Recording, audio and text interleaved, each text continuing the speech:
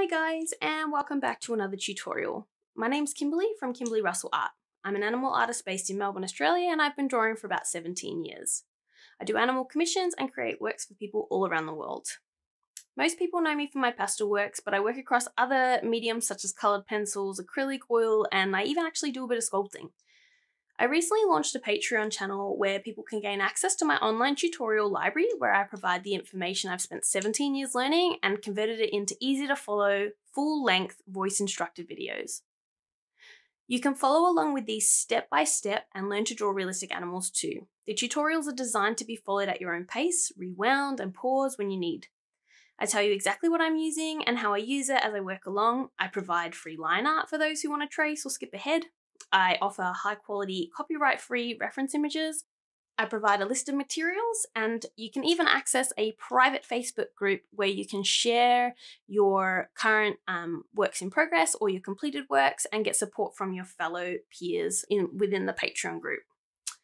I have different tier options to suit a broad range of artists, from novice artists or someone wanting to brush up on their skills, all the way to artists who are ready to tackle full length tutorials, where you learn to draw a whole portrait just like this puffin we're going to work on today. If you're keen to join my Patreon account, you can access the link in my description box or from any of my social media accounts, which are also linked in the description below. Alternatively, head straight over to the Patreon site directly and search for Kimberley Russell Art. Tiers start as low as two cups of coffee a month, and there's no lock in contracts, and you can switch up or upgrade your subscription at any time. If you don't do so already, I'd really appreciate if you could like, follow, and subscribe. You can find me on TikTok, Instagram, and Facebook to keep up to date with my work in progress, time lapses, finished pieces, and just some fun videos.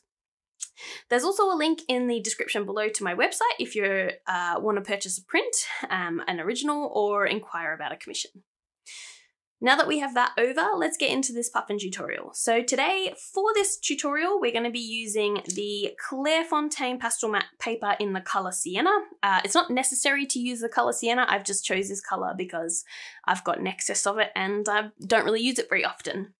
Um, I'm going to be using the Pan Pastels. So if you haven't seen these before, this is by a company called Pan Pastel, and they're just essentially uh, pastels compressed into dishes, and we access it and then put it on. It's um, really great for backgrounds and really good for um, laying a base color. Um, to work with our pastels, uh, our pan pastels, we also have those little sponges and a applicator tool. Um, you can also get little sponges like these ones. In regards to the pencil brands that we're going to use, so the pastel pencils,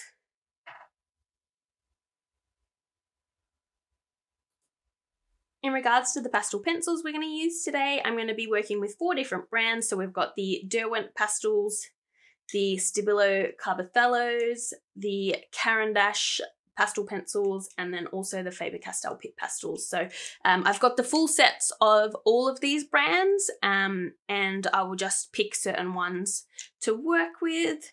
Uh, as we work along. The other thing I am going to use some other tools I have with me is my blending stumps. These are really great. Um, I love these and my electric eraser just in case I make some mistakes or if I want to dull out these under or these line art that I've put on there. Um, so you can see that I've already traced out my outline and we have a reference image of the puffin just up here in this right hand corner.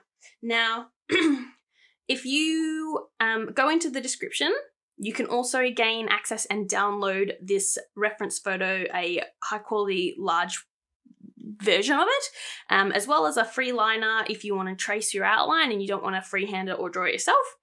And I have linked a, materials list as well, so a list of all the full materials and colors that I use to complete this portrait. So uh, just head on into the description and you can click on those and download those so that you can have a go at this picture as well. Now, before anyone asks me, this thing on my finger is a silicone pad. Um, I just, I've been getting a lot of pain and, and sort of callous fingers from holding my pencil. So it's just there to help as the pencil rests on my finger. Um, it just looks a bit yucky because it's picked up all the fluff off my jumper, um, but I assure you it is clean. and it's not a band-aid and it is literally just a removable um, silicone thing to protect my finger um, and just help with discomfort because when you draw for a living, um, yeah, you tend to get some pretty epic calluses and sore hands. Um, but yes, because we're going to be doing a background on this image today, um, I want to start sort of mapping in the background, at least on the edge of my piece of work. And the reason why is because um, it can become really difficult to apply a background after we've done the main focal point of the picture. And the reason is because the edges start to get quite blurred. Um, also, with my outline, I just want to let you guys know that some of the areas are really dark and some I've tried to erase out a little bit. And the reason why is that these outlines will poke through a light color, so whites, light yellows, all that sort of stuff. It will poke through um, because they apply quite transparent. Um, so in those areas, I've tried to erase the lines out so that you can't see it through the pigment. In the areas it's a bit darker, it's where the animal's black and I'm not really too concerned. So um, I am going to start with applying a bit of my background. So I'm going to take a pan pastel in the color Payne's Grey. And I'm just going to start to apply that around the edge. Now I'll let you guys know that obviously the colors are never going to be identical to what's in the image, but we want to we want to try and create somewhat of a resemblance of those colors, if that makes sense. So I pick colors that I can see are visually closest to what I'm trying to replicate.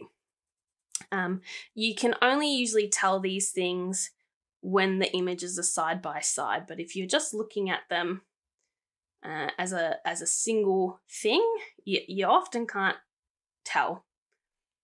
Now, I'm applying a bit of a darker tone around this bottom hand side and this upper corner because you can see in the reference image there's a lot more of like a yellowy grey around here and then it's quite dark as we get over to this side of his little beak.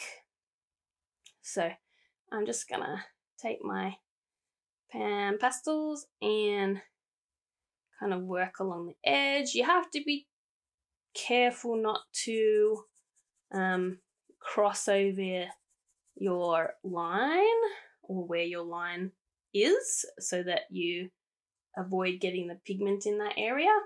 Now, here at the background, we can see that that's where it transitions into rock that's very blurred out. Um, so I'm not going to keep bringing that pigment down.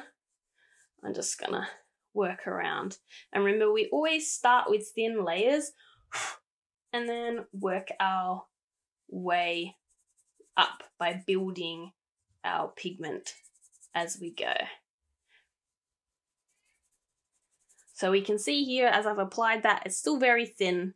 Um, you can still see the orange really poking through, but that will get better the more pigment that we lay down. I'm going to take my pan pastel in the color turquoise shade so it's a nice little green color. I'm just going to go in with the same sponge because they're um, not too much of a different pigment. And then I am going to kind of work in a little bit with this. Now, if you haven't used Pastelmat paper before, it's a cellulose, I believe, based paper. So it's got a bit of a tooth on it, um, but it is still really fine compared to um, compared to a lot of other brands. Like you can't, you can see the pigment a little bit and the tooth a little bit, but not not a whole bunch. Now, I'm actually going to start to lay this turquoise across this middle section because we're going to go over it with grey or like a light colour. You can see here that the paper's a little bit scratched. Also, I apologize if I'm going a bit off screen. I'm using a 50mm camera lens and it's I can't get any further away. Um, and I don't want to move the camera just to show you the top of this um, artwork when it's not relevant really. Like it's it's literally just color. Like it's not got any detail in it. It's just me blending these pastel or these pan pastels out a little bit. So I'm going to go in a little bit heavier with this turquoise and work my way around. So remember, it doesn't have to be perfect. We can come back and finish the background a bit later, um, but we just want to kind of start to lay the base pigment so that when I'm doing the bird, uh, I'm not gonna, like the main key thing is that we, we cover up the, like this edge here where there might be some fur. So I've now come in with my neutral grey tint. If I didn't show you, you literally just dip it in. You can tap it off if you want and then start to blend that in. Now, if you don't have these little sponges, well, they're just essentially they're makeup sponges, right? They, they're like the little tips that you get in the makeup kit. Um, so you could probably just buy them from a cheap, like a like at the reject shop or two dollar shop or something like that. And then, um, or alternatively, that like they don't work as well, but your good old cotton buds, um, you can use those same as a blending stump, right? If you don't have any blending stumps, you can use these as an alternative. They're obviously never going to be as good, but you know, artist materials are expensive and sometimes we just have to do stuff on a budget. So you can see how much just applying that grey on top has really started to turn this pigment quite opaque and more in line with what that actual reference photo looks like. Now, don't be too stressed if you cross over the line a little bit if the pigment is really um, thinned out. Okay. Again, I'm sorry I'm out of frame. I'm just trying to blend that out a little bit.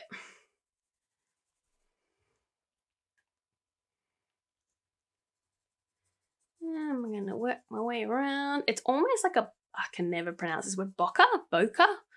Um, very, very, like there's this high depth of field, basically, so we can really sort of see that in the background, which is good.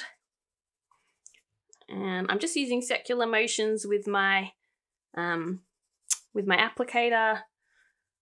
Again, because it's the background, and it's not a detailed background, it's very blurred out because of the depth of field.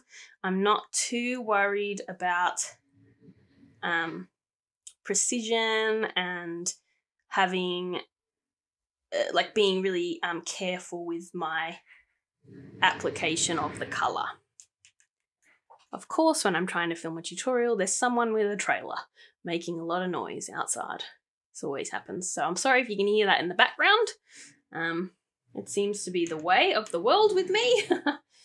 so I'm just going to take that grey and very, very, very, really thin, thinly apply that on this left-hand side. Um, I just want to kind of make it a bit more, uh, yeah, opaque, basically. So one thing I do want to say to you guys is I totally get that not everybody has pan pastels. Um, that is just use regular pastels. Either use um the sticks, so like the old school, like just chunks of pure pastel, you can do that, or just use your pencils. It's just more time consuming. Um, that's why I am not using my pencils because this is just a faster way and it saves me pigment and wasting my um the pencils I need for detail. So I can see in this left hand corner of the image, like this up here. It's quite dark. So I'm actually going to take some raw umber X dot dark in my pan pastels. On camera, it probably looks almost a little bit black, but it's not. Um, so I'm just going to take a bit of that. I'm going to tap it off. And, ooh, that's super dark. I'm just going to start to work that in to the background.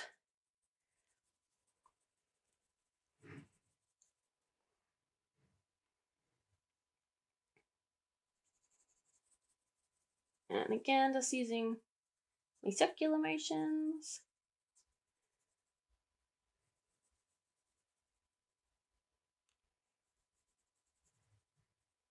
And working along that border, I'm not going too far down because remember that beak is where the white starts to kind of transition.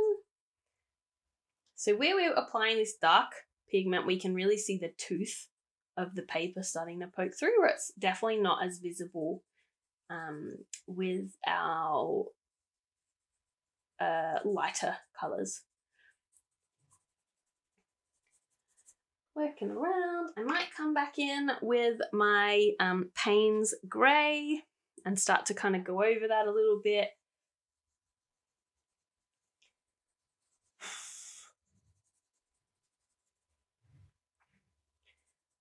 Might need a darker grey. I don't like seeing the tooth. this is the issue. Okay. So I'm just gently blending that in. Now, if you want to create a softer look, just apply less pressure with your tool. You can always try blend a little bit with your finger. Um, I don't love to do that because pastels are very drying. Uh, and I just don't like the feeling. So I, I try not to use that. I usually will use a blending stump. Um, but I might come back in with that lighter grey. I really wish I had like a, maybe I've got a medium grey. Let's have a look. Let's try the neutral grey. Probably doesn't look much darker on camera, but I think it is.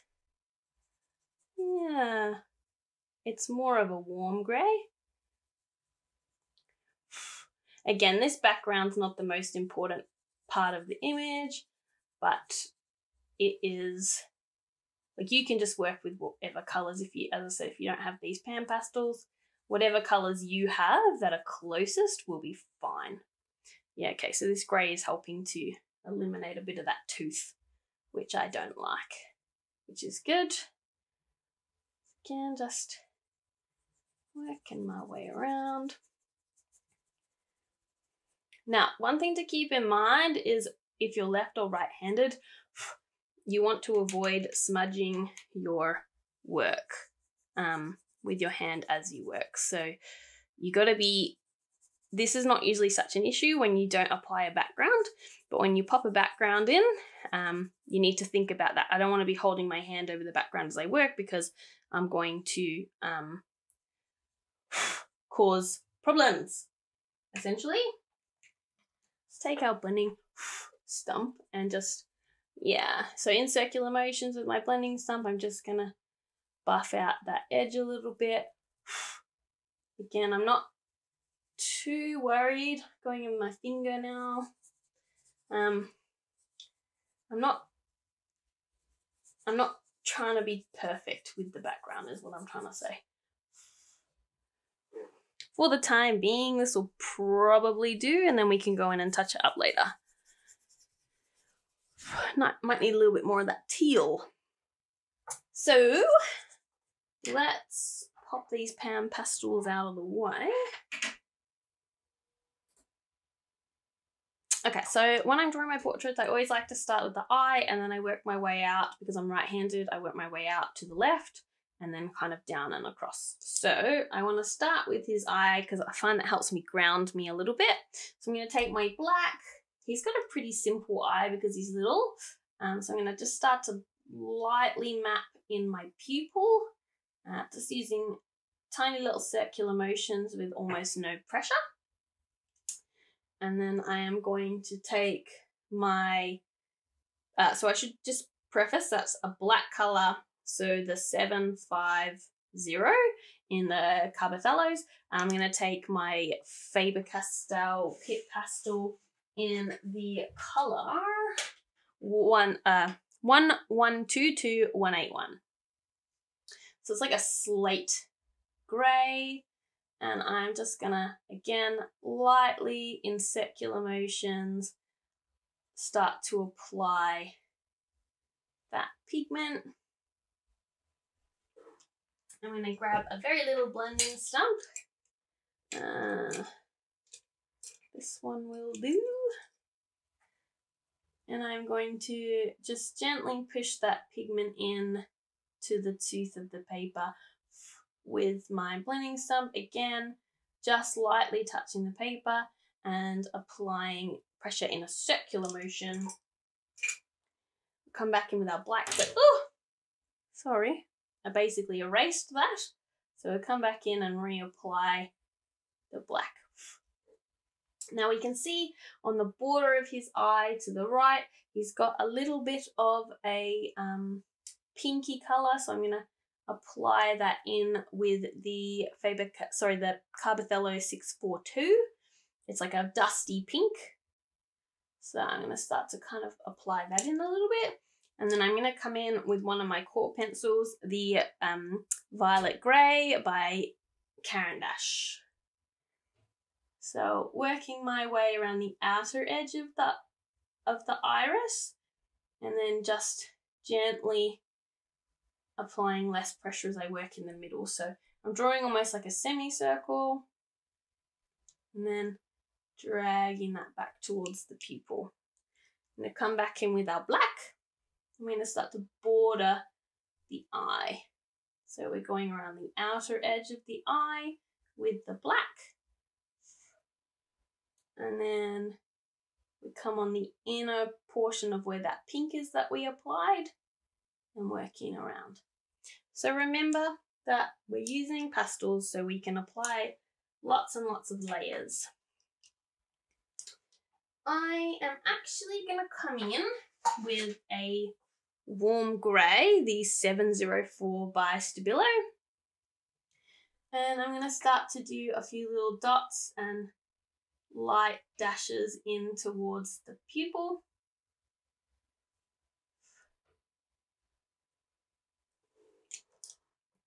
And I didn't mention this before, but this is the Cretacolor blackest or the black chalk. So it's a 46012. It's the blackest black that you can get. I highly recommend it. And I am just going to go over the pupil with this to really make it pop now I can come back in with my Carbothello and I'm going to, there's a shadow on the top portion of the eye, so I'm just going to map that in really, really lightly, always applying very light pressure as I work. Now, we can see also has a little um, highlight in his upper eye. So I just also, I didn't say this, but I have my reference photo blown up really large on my computer. So although there's a tiny little reference photo in this right hand side here, um, two, I've got a split screen on my computer and I've blown the reference image up really, really big so I can just see all that detail in his little eye. So I would recommend definitely doing that if you um, are working on any drawings.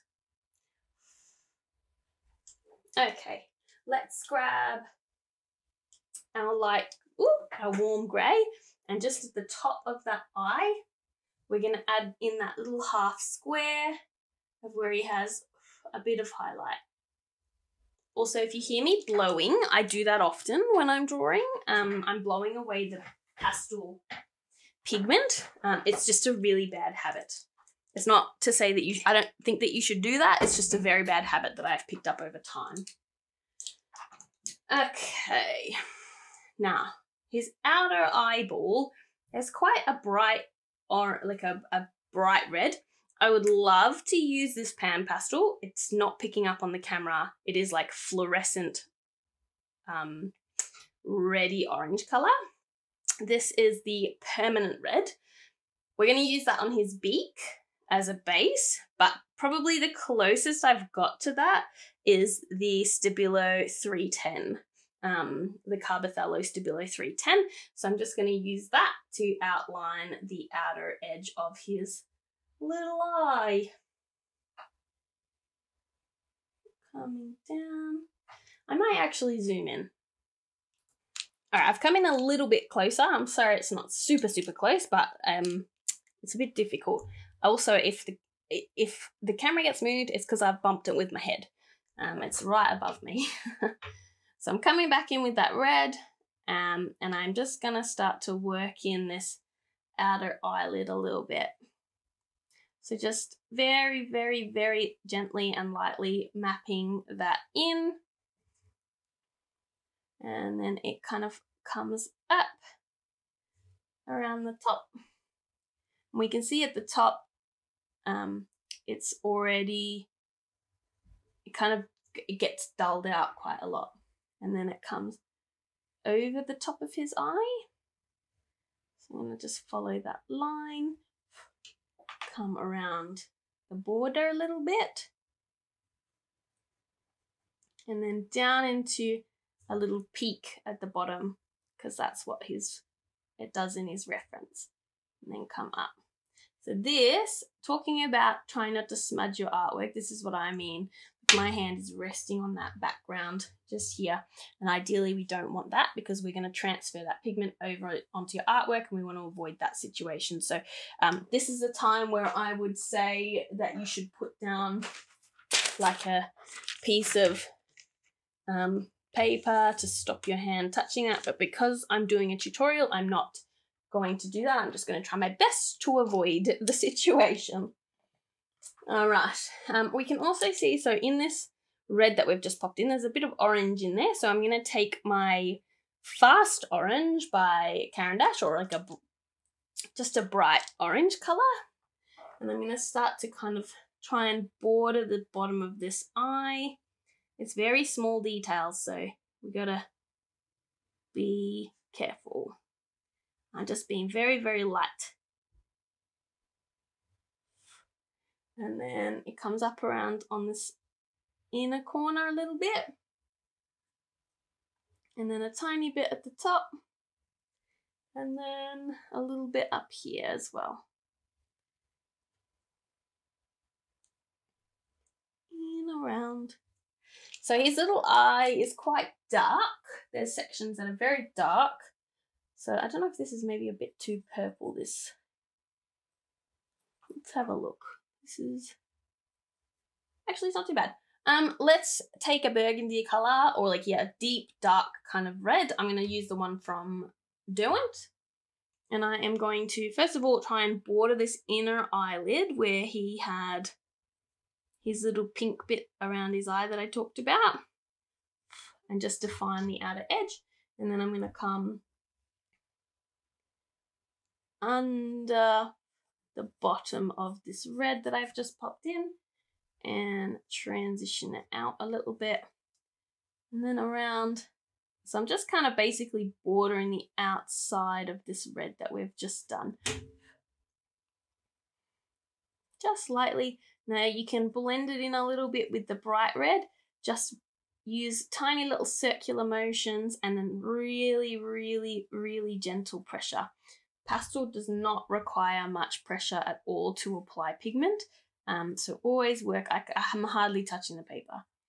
Always work lighter because once you fill that tooth, you can't unfill it really. Like you can try and erase a little bit, but it's probably not going to work. So I might come back in with my bright orange, the 310, and just kind of go over a little bit of the edge because I lost a bit of that bright red pigment.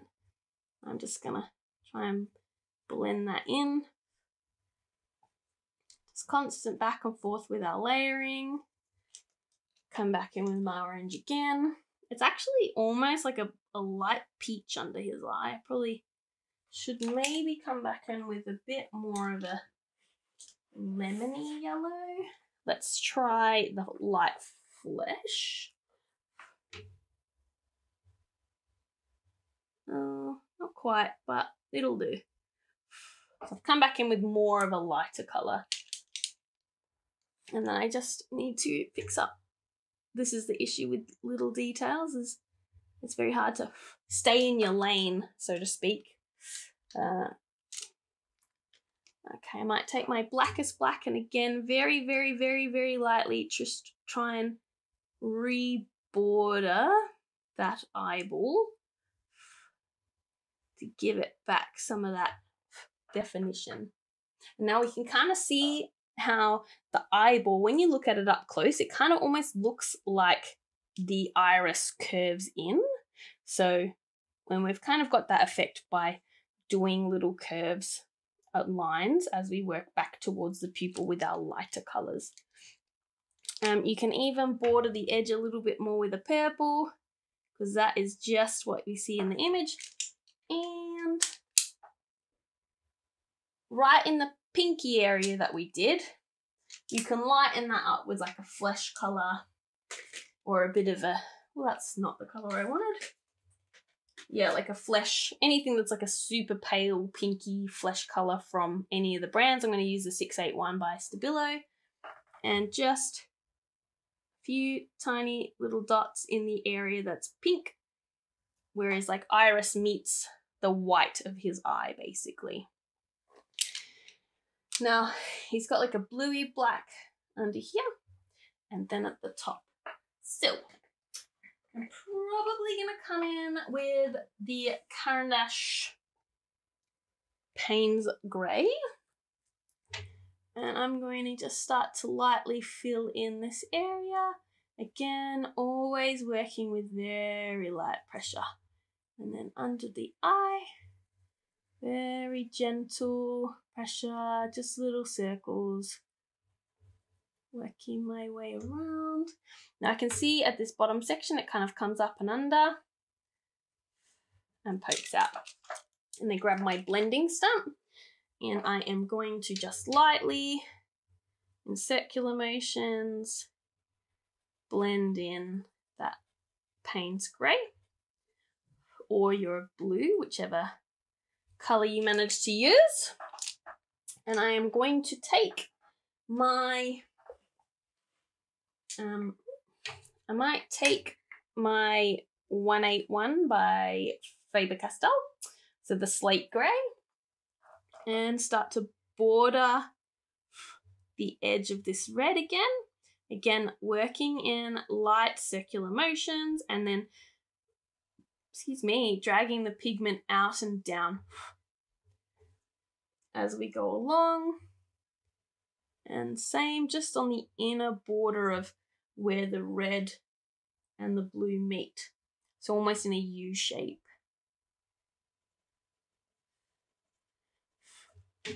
And I'm going to come in with some black. Really, really gently on this edge. Same thing, almost no pressure, light little circles. I'm just blowing that pigment away as I work because it's habit. and work our way up. If only I could show you pressure, but it's like impossible. you can't visually see pressure, but basically I'm hardly touching it at all. So coming along this bottom border, again, right up under that uh, eyelid, I suppose you would call it, the eyelid line, and working out in tiny little circular motions. And then we can drag that into the inner corner of that red just a little bit. I have a terrible feeling that somebody is going to start doing some kind of construction right outside as I am filming this. I can see a man with a ute. And it's very concerning to me. Okay, I'm going to take my slate grey again, the 181, and I'm just actually going to border the bottom of this eye because I can see that there is a darker patch as that kind of starts to meet with the fur. And then if you have the credit color, you can again go on right at the bottom corner.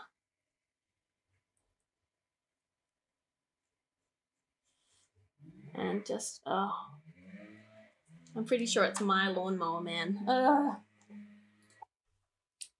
I'm going to grab a lighter grey colour, so a 724 by Stabilo. And just in this upper corner of this eye, I don't know what you would call this part, kind of like his eyebrow, I suppose. I'm just going to very gently buff that in because it gets quite light right at the top at the peak. And then I'm just going to add in a few little dashes and lines in this bottom section. can take our black and again, just this outer line, it actually comes up and kind of meets over the top. So I'm very, very, very, very lightly drawing that in. And then we can take our burgundy and just fatten out this bit here because it's kind of lost its definition. Oops, I've gone a little bit too wide. So just pop that in. And then what we can do is grab our electric eraser if we need to and just, oop, I'm making an absolute mess of this. Sorry, let's grab our electric eraser. No, let's grab our burgundy, go back in. We're gonna grab our black, touch up that we just messed up. There we go. Sometimes, unfortunately, when we're working on things like this, stuff can go wrong, but that's the key thing is to learn how to like amend the mistakes that we make. It's usually possible. So I'm just coming back in with my red again and re-mapping in some of these details that I lost. And I'm going to take my orange and again just re-map in a couple of small details that I have started to lose as I've worked along. Alright, I'm going to grab a white. It doesn't really matter what brand. I'm going to use the Caran d'Ache white, so the Azurite, Az Azurite white. Um, and I'm to start to, so right up here on his upper portion of his um, like eyebrow, I'm just to start to lightly, lightly map in that white portion. So very, very gentle, just working it in there because he's going to then transition into his darker color. So I just kind of want to make sure that I don't lose this detail. So I'm going to put this in nice and early. And again, just build build on your color. So start light and apply more pressure as you work. He's also got a tiny little line on the outer edge of that, so I'm going to take my 181 by Stabilo, that sorry, by Faber-Castell. So the um, that's the slatish kind of grey, and just really lightly pop that very thin line in. And then I can again border that on the inner portion of this white line. Very light. And sort of slowly start to map in his little head. So if we look at the reference photo up nice and close, it's more of a blue hue, transitions into like a warm grey, and then kind of has multiple greys and, and warm black kind of colour through here. I am actually going to take one of these tiny little makeup blenders. I'm going to take my permanent red from my pan pastel. I'm to put some pigment on this guy. Try and not make too much of a mess. Tap that off.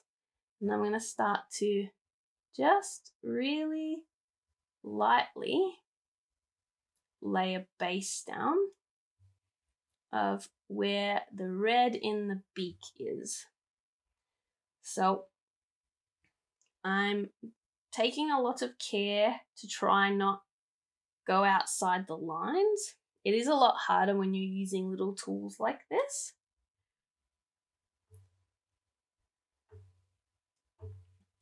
So it's coming in. And remember, we don't want to fill the tooth of the paper too quickly, so we just want to apply a very, very thin, thin coat.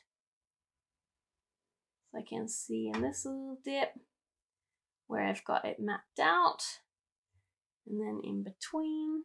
So we're kind of filling it in, leaving a gap, filling it in, leaving a gap.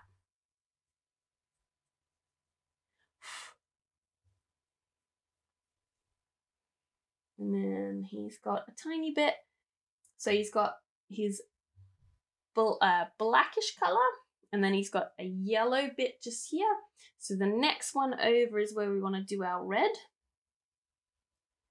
And then he has another gap. And then the next one over is where we want to again start to apply a little bit of the red. Now, if you're using pencils, this is all going to take a tiny bit longer. And I'm just going to run that red very gently across the bottom of his beak.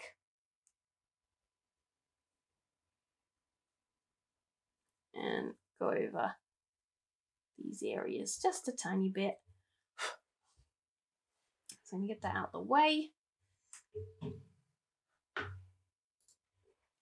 I'm to grab a dark carmine, some very dark burgundy colour from the Car Caran d'Ache pastel pencil range. And I can see here, so again, he's got his slate section, his yellow and orange part.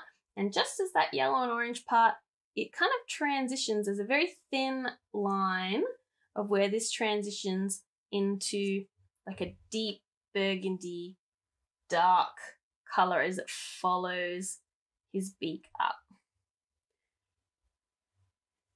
So I'm, I'm just gently, gently starting to kind of apply that pigment. Again, always working light so that I can build my layers. Um, and then we skip over to this bare line here and we're going to do the same thing on the inner portion. Just lightly map that in and then skip again and do the same thing again on this blank one. Very gentle. And then right down at the tip of his little beak, it's quite dark. So just gently mapping that in.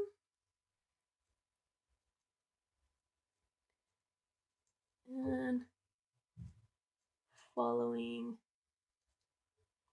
I'm just going to go and draw just where his beak meets in the middle. I'm just going to really lightly go over that with this burnt carmine just up to this middle portion. And I'm going to take my, I'm actually going to take my like fluorescent red that we just used, so the 310 that we used around the eye, and I'm going to start to work in with a bit more precision this very bright beak of his.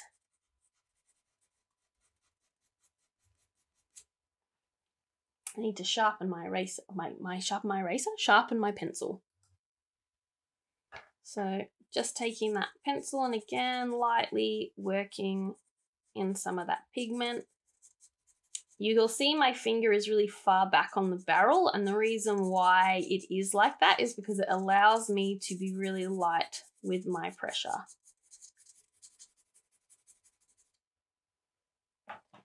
Just working around. Okay. Coming down, trying to blend that purple, that deep color in a little bit better. So using circular motions and then kind of crossing the pigments across each other as if I want to blend them. And then same thing, lightly, lightly going over those burgundies that we've just applied. And down the bottom, just gentle. Now we can see it's almost like a pinky salmon color running along this top border. So I need to find a good colour to do that in. Hmm. We might actually want to use... Hmm. Let's try this. It's not too bad. Let's use the saffron in the Caran d'Ache, or you could use it in the Derwent. And we're just going to slowly drag down right on the edge of that beak. And then just the tip. And I, again, you can see I'm almost applying like no pressure. Just work my way up. And then this little top part of his beak actually is quite orange, so I'm dulling that red out. And then I'm going to grab a very vibrant bright orange from, hmm, let's do, let's take it from the Stabilo Carbothellos and just really pop that bright orange at the top.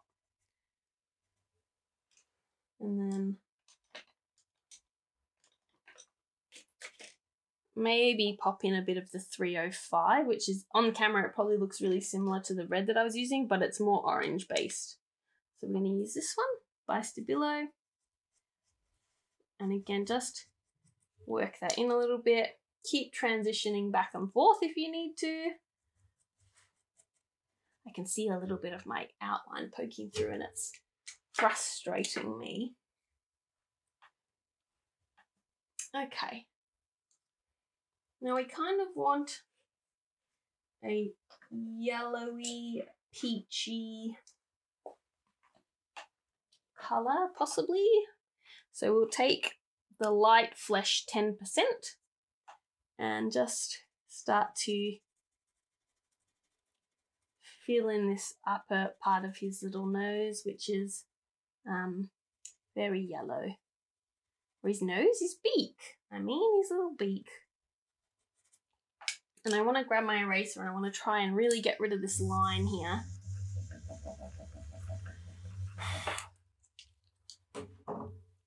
I'm coming back in with that lighter colour and just working. Again, my finger's really far back on the barrel and I'm just working in my little circular motions, gently applying the pigment.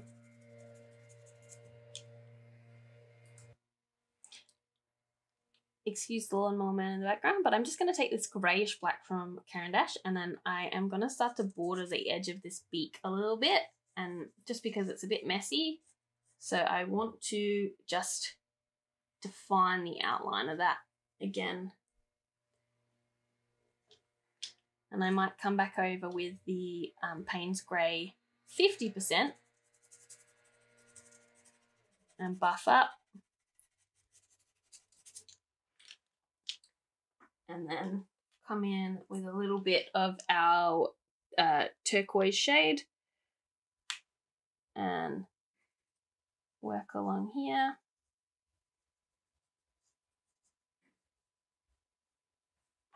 And then I can grab my blending stump and just try and blend out that edge a little bit better. I'm actually going to grab a super old blending stump and just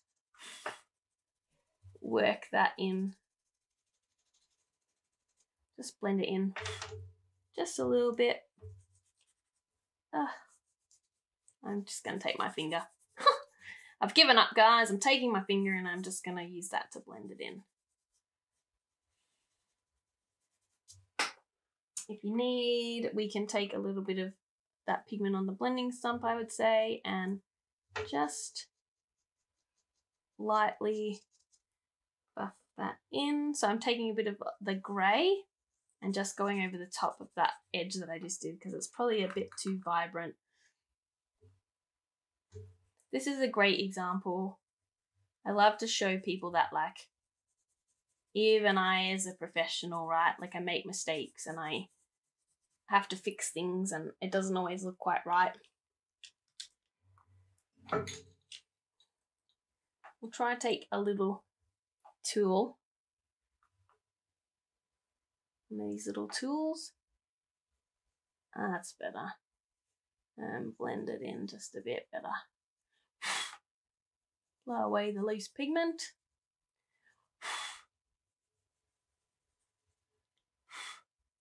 And I'll take my finger again. Try and buff it out. Ugh. Haven't, I don't know if it's the colour paper that I've chosen, but I'm having a rough time trying to get that to work. Okay. Now I can come back in with, oh, I've dropped a pan pastel and I've bumped my head into the camera. I'm gonna take my bright orange, my bright red, so my 310 and just again try and redefine that beak and then come back in with my 052. I keep smacking my head into the camera, guys, I'm sorry. And come right on that edge of the red beak.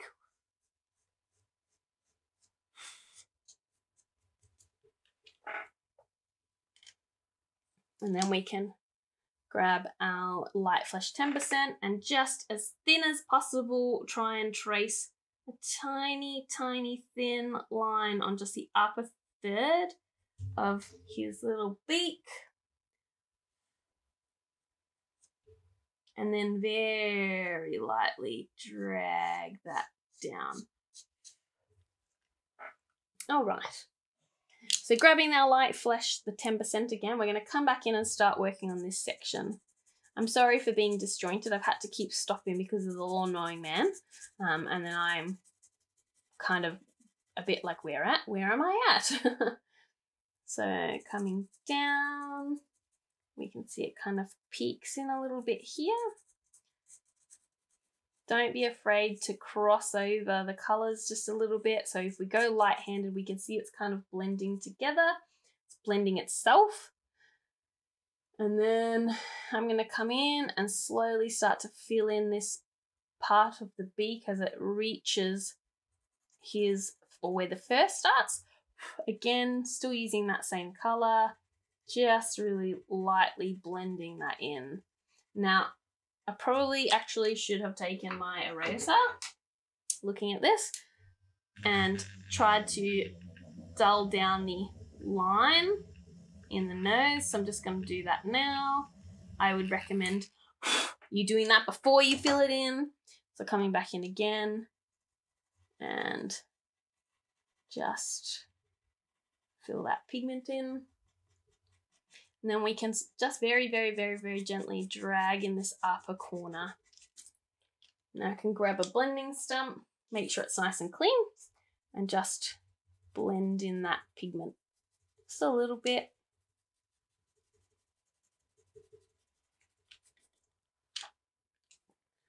Okay. Now I might take my warmish grey, so uh, the 704 by Stabilo, and I am got the state of my hands. I am going to just slowly start to fill in these two sections of his little beak and then down a little bit.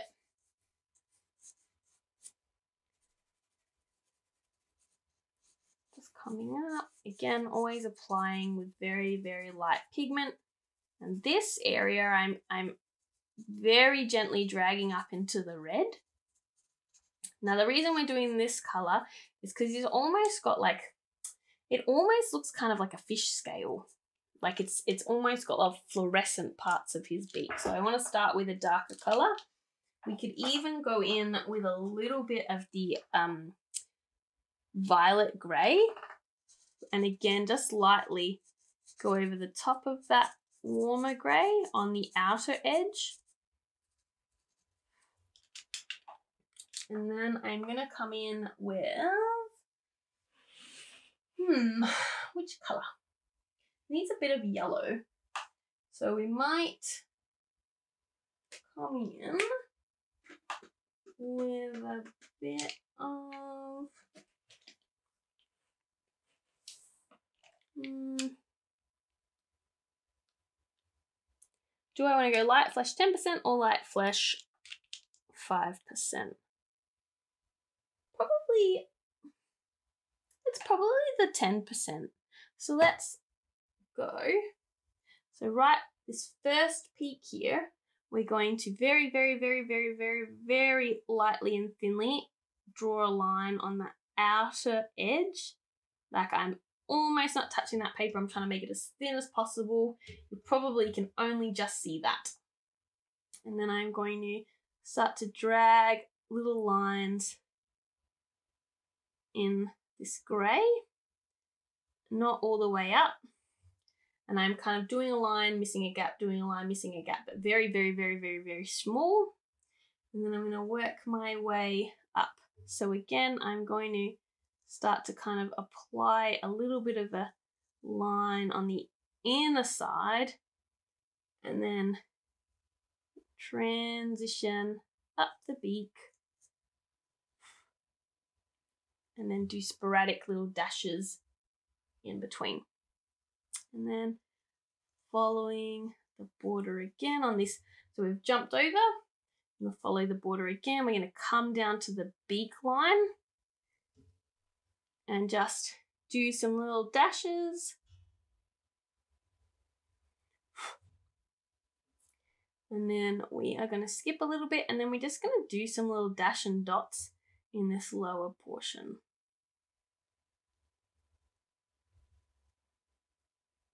Giving it that like reflective look and then a little bit of the same thing just on the tip of this beak in the middle area, just in here.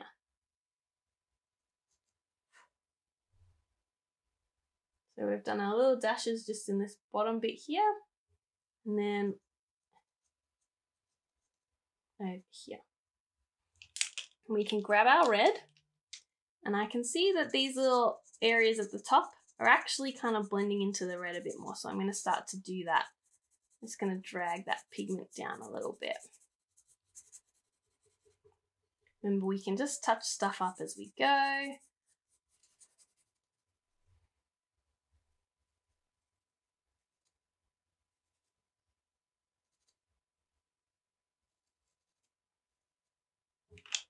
Okay, let's take our dark carmine purple, so the dark carmine from the um, Caran d'Ache, and then we're just going to add in a few little specks in here. And then again, deepen that very thin border on the inner side. And again on this side. And then over here.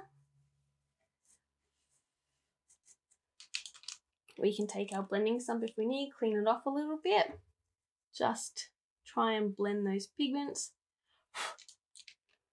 I'm to grab some black and really start to try and deepen this line. And again, I am applying almost zero pressure. I'm just touching the paper.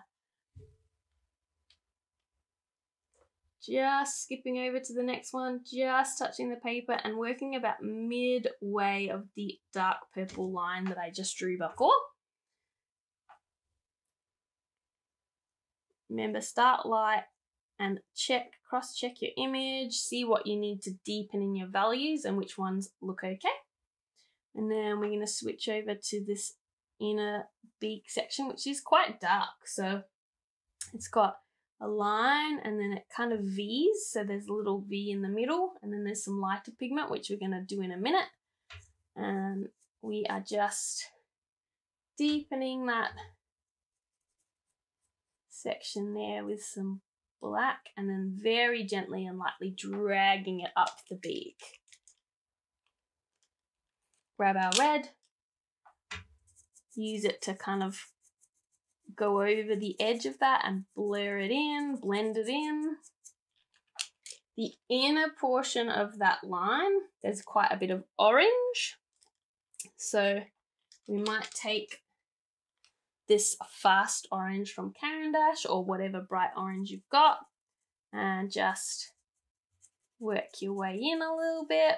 Again, kind of crossing over the pigments.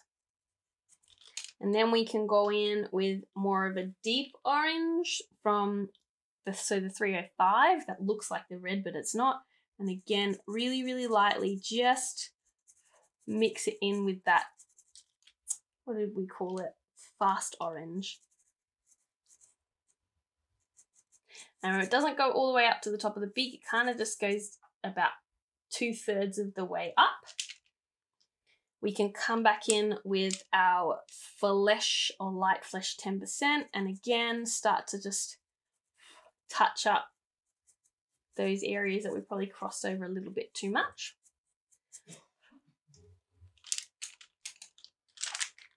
Now I'm going to take my white and on this inner, so we've got our dark line and the next one over, we're going to just really, really lightly do a line on the inner portion. I want to get a nice sharp point. So just pop that in and then we're going to come over one and just on the bottom edge is the beak and then up like a little backwards L. We can add that white in there. And then again, really thinly and lightly just tracing a line as that beak kind of meets in the middle. Now we want to start to add in this highlighted bit here. So we're going to grab our um, Light Flesh 5% and just do a little line up the middle. And then grab our white and just do some little dots in that line that we've just popped in.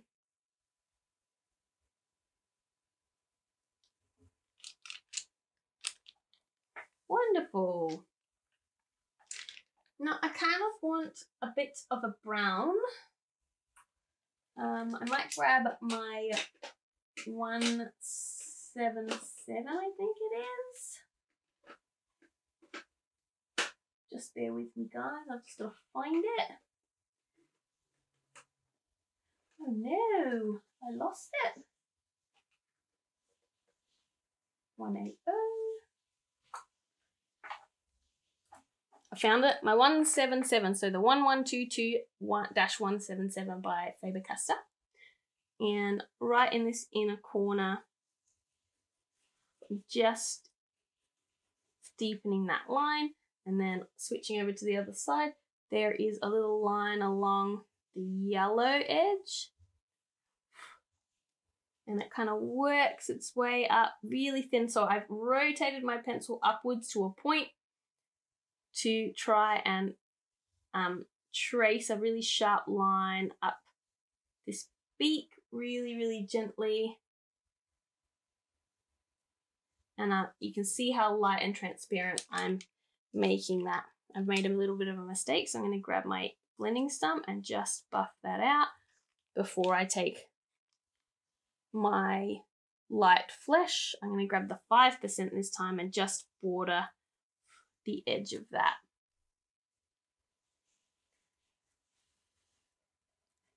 And coming up.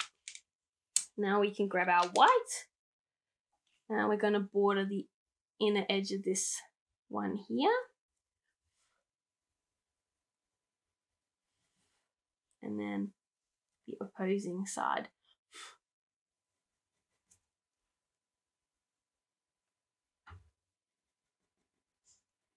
Bring it up, outer edge. Remember, we can do the term glazing, which is very lightly going over the top of something with another pigment or another color, with not the intention to create and to overlay, but what's the word I'm looking for? Not to overlay, with the intention to uh, change the tone of something, but not um, not not completely like it's just a really really thin um, transparent layer to alter something or brighten it or darken it or like uh, create a tone or a hue to it. Okay. Now let's come in with our 181 the little slate and i'm going to start to just work in a little bit of this beak so just using my circular motions, working my way up. Now I'm getting very light and thin as I get up towards this upper portion. Now where this line is, there's a bit of a gap. We don't want to put any pigment in there. So just coming up, doo -doo -doo. filling it in. We're going to grab our blending stump, make sure it's nice and clean. And in circular motions, we're just going to start to buff in that base layer. So we've got something to work with and we're filling in the tooth. Yeah, I'm working down.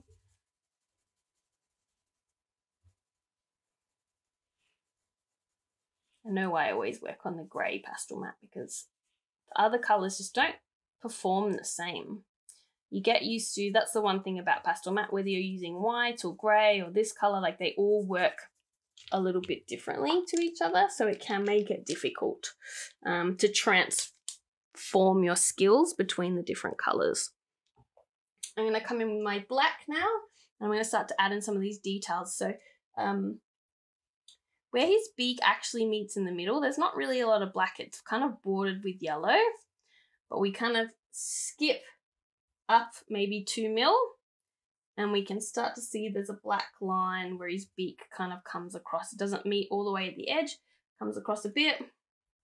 It scoops around in a little semicircle and then kind of transitions up. Has a little foot coming off it there. So just going to come in with the black and just buff that in. And again, really lightly, just kind of drag that pigment down give it a bit of a blend. And then we're going to skip again, maybe like a mil, and just lightly, lightly buff in some darker pigment. Very thin coat. Again, you'll notice I always move my fingers really far back on the barrel of a pencil when I want to ensure that I am not applying a lot of pressure. So again, coming up with a little bit of black, not right at the edge. I'm leaving a little bit of a gap. And then I'm going to come in again, clean off that blending stump, and just touch the paper very lightly and buff it in. We can come back in with our slate and kind of work in the gap between the black. It's like the underneath section and starting to bring that pigment up a little bit. So some of these Pastelmats I've noticed like really don't like to have like blending stumps used on them. This is one of them. um, I'm just bordering the edge of this beak. Again, not all the way up. We can see that it kind of stops before the top. And coming up and over, we're going to grab our violet grey. And as the beak starts to transition from slate into more of this lighter yellow, I'm going to pop a bit of the paint of this um, violet grey in there and then work my way down on this inner edge. And then again around on this inner edge, kind of work down.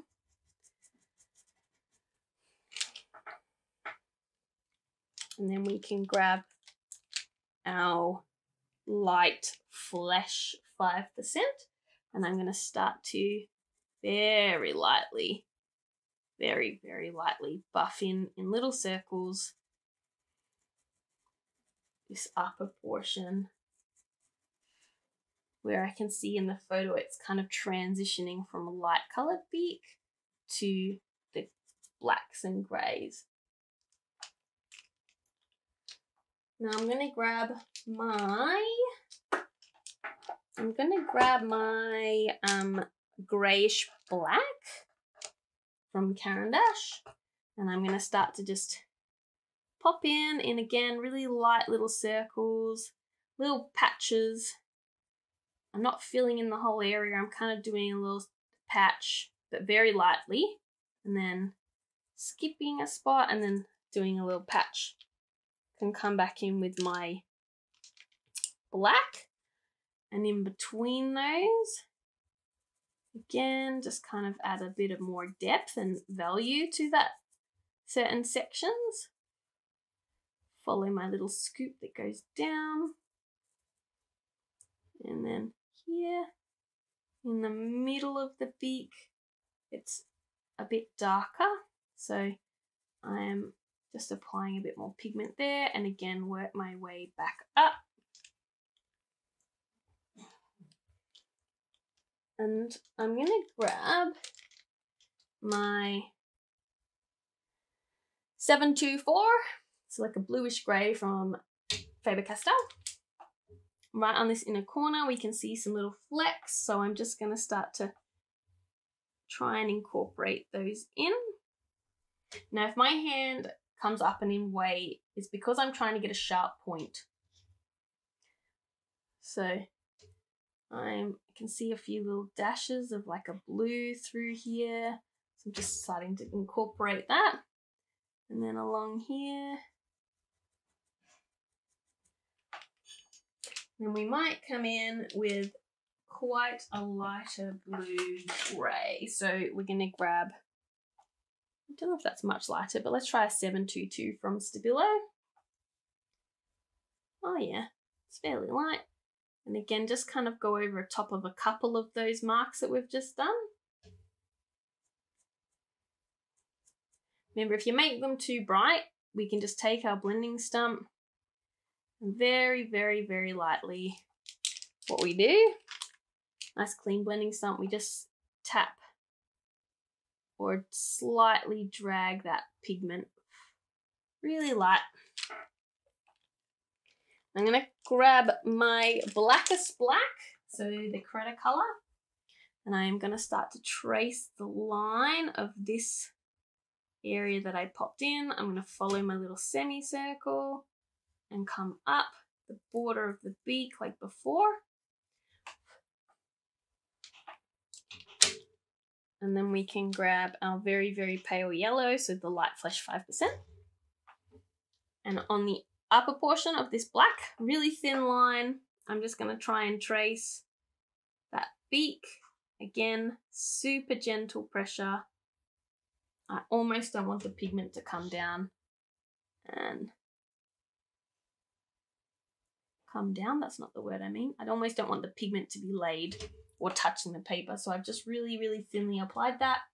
And then underneath that, I'm going to again kind of come up into the middle of where my little C curve is and then work my way down and then follow the border of that beak.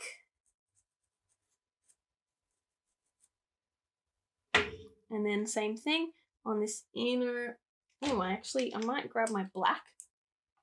Right where this yellow and this violet meet here, I want to draw a very thin line with black. Only about, yeah, midway up. This is where we put our little brown before, so we can come back in with the brown and just go over the top if you want. Then I'm going to come back in with my light flesh 5%. And at the bottom of that line, so the inner side, I'm going to, again, like midway of this bottom curve, I'm just going to start and then lightly try and follow that along to give the highlight to the edge. There. Got a little highlight, little spot of highlight just there. We'll pop that in. Little spot of highlight just there. And pop that in. So we're just constantly rechecking over our reference photo and seeing where we need to increase the detail or add a little bit more pigment. So that's what I'm doing here. I'm just going in and um, kind of adding in a little bit more where I need to.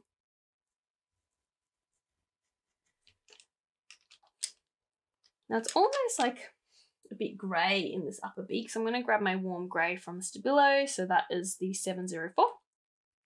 And I'm just going to go really lightly over the top of this area. Put in my, I'm doing circular motions, but I'm also dragging the pigment at the same time. Then I can come back in with my white and really border that inner line and make it pop a bit more. So I'm sorry my hand's in the way.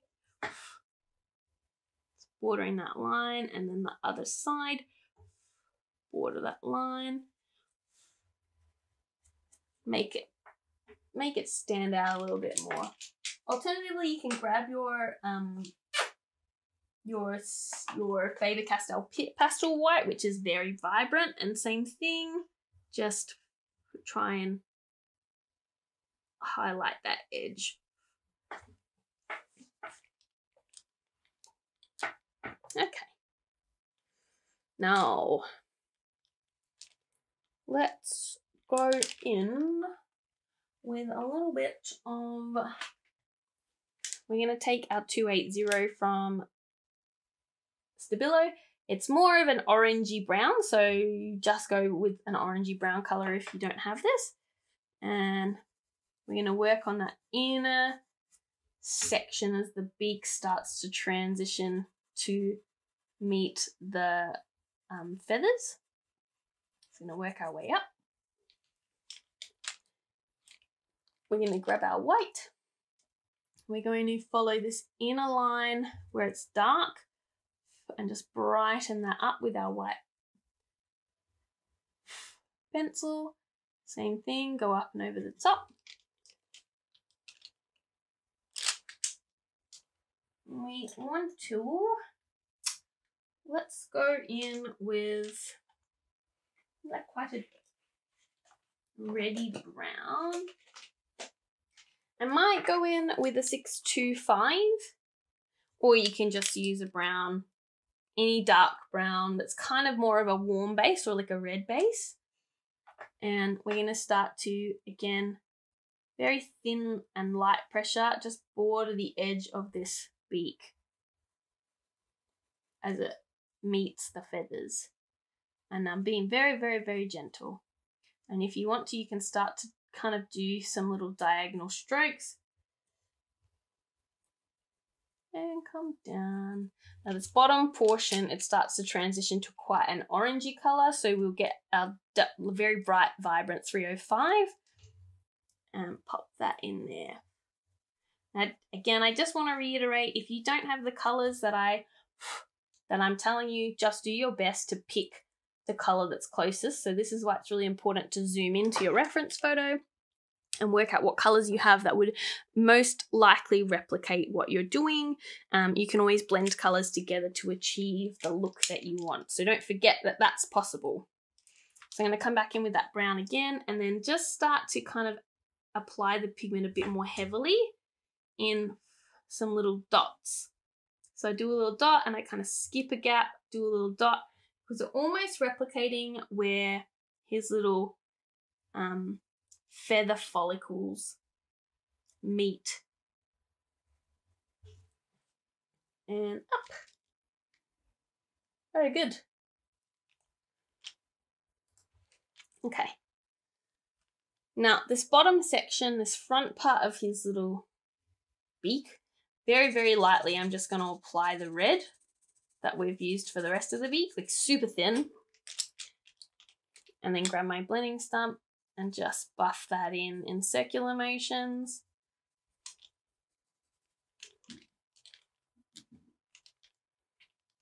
And I am going to erase this line as much as I can.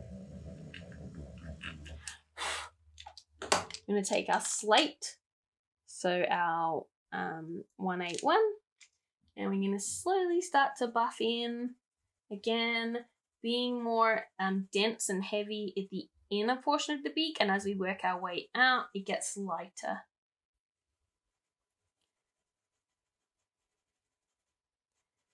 Leaving a gap between here and where the fur, the, the feathers meet. Just doing my circles. Grab that blending stump. Whoop, I dropped it, sorry. And then slowly buffing out. Again, little circles, little motions, not hard pressure.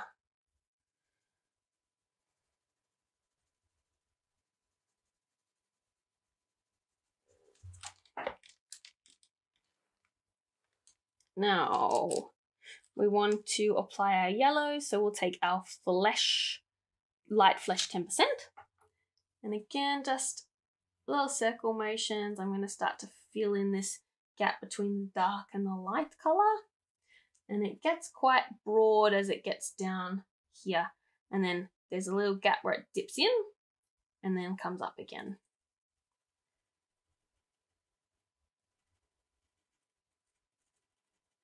Cross over into this slate a little bit if you want. Very, very light. I'm going to grab my violet grey and again, as the slate transitions into the lighter colors, very lightly circular motions applying some pigment. I've moved my hands to the back of the barrel so that I can definitely apply with a light hand. To grab our black and under here it loops underneath. You can see our black loops underneath and then kind of comes up and loops over and then we follow the bottom of that beak. And as we get closer to the red, we get our line as thin as possible until it's basically non-existent. We can grab our black and in this upper border, very thin layer, just deepen the values in this inner bit.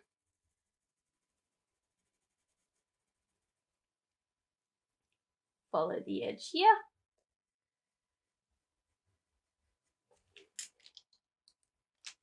And grab your blending stump if you need. Super light pressure, just again try and blend these pigments into each other.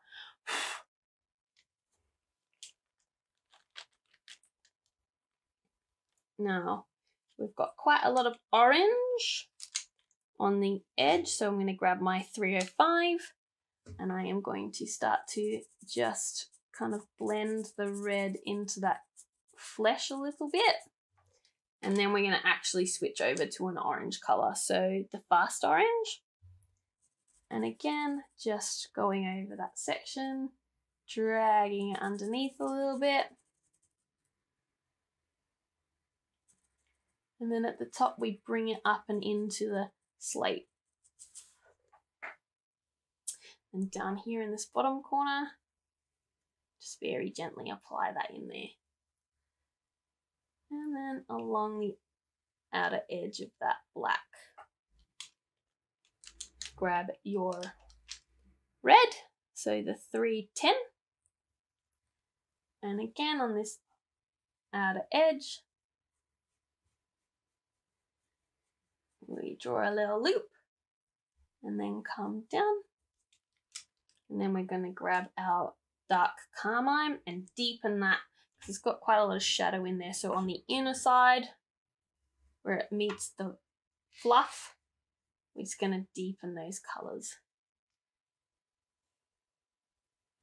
And then we can grab our slate if we want to.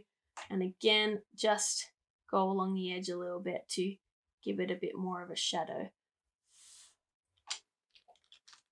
Grab your blending stump if you need and just buff out where you need to. Oh, I'm always not touching that paper. I'm going to grab my blackest black and I'm going to border those edge again. And then bring it down and then kind of in a little bit. Now I just want to fix this area here. There is, um, it kind of comes out and over and I just want to demonstrate that. So I'm just going to make a bit more of a bulb there. And then we're going to add a little bit more of a orangey warm tone on that edge of it.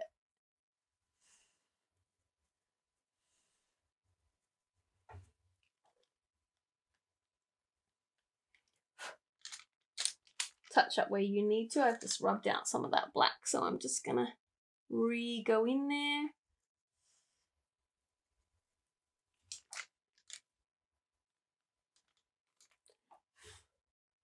And fix up all those little mistakes that I've made. Just add, add those highlights back in. And then here it kind of skips a gap and then has a little highlight. So now we can see that there's some tiny little specks in here.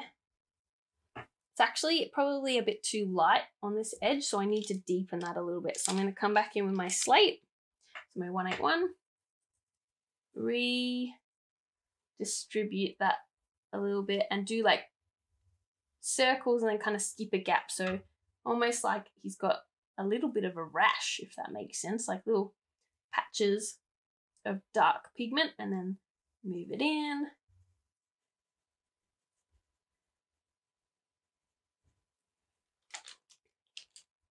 Now we want to grab our white and almost make like a little electricity bolt. So it, I'm doing a bit of a jaggedy motion and then some extra areas around that really lightly It's kind of where his beak's peeling. And then here, I'm going to sweep under a little bit. add in a few dashes where you need, and then grab your blending stump and just pat out some of these very bright areas we've just popped the pigment. So I'm lightly tapping the pastel. I'm not smudging it, I'm just tapping and moving around to pick up some of that pigment.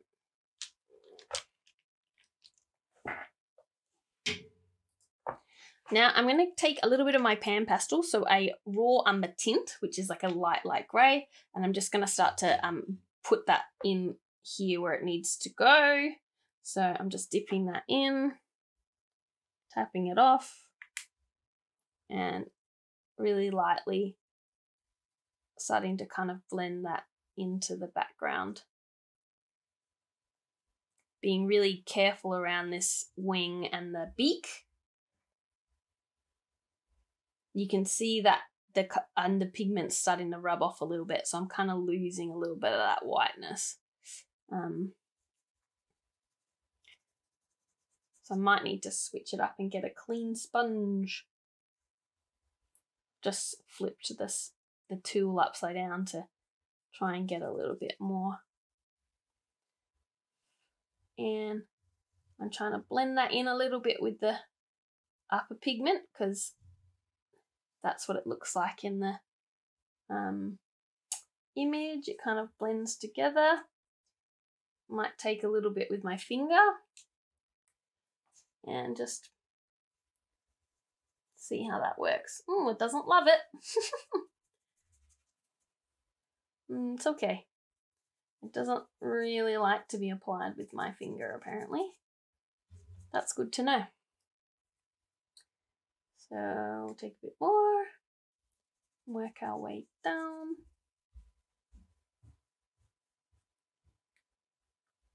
And keep going.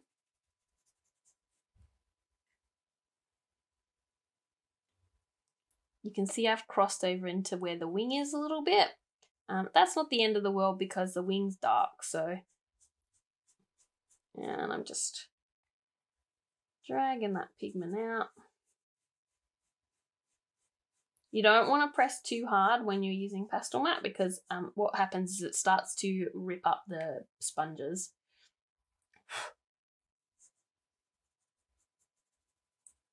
can dragging and circular motions. I'm applying the pigment probably a little bit heavier than I normally would. Um, again, that's just because this whole area is mainly light. Um, I might actually come in with a bit of white, like actual white. Uh, so it's called titanium white. And just brighten up some of these sections. Since we've really muddied it up. You can't see it too well on camera, um, but in real life, it's definitely a lot brighter. As it gets to the body,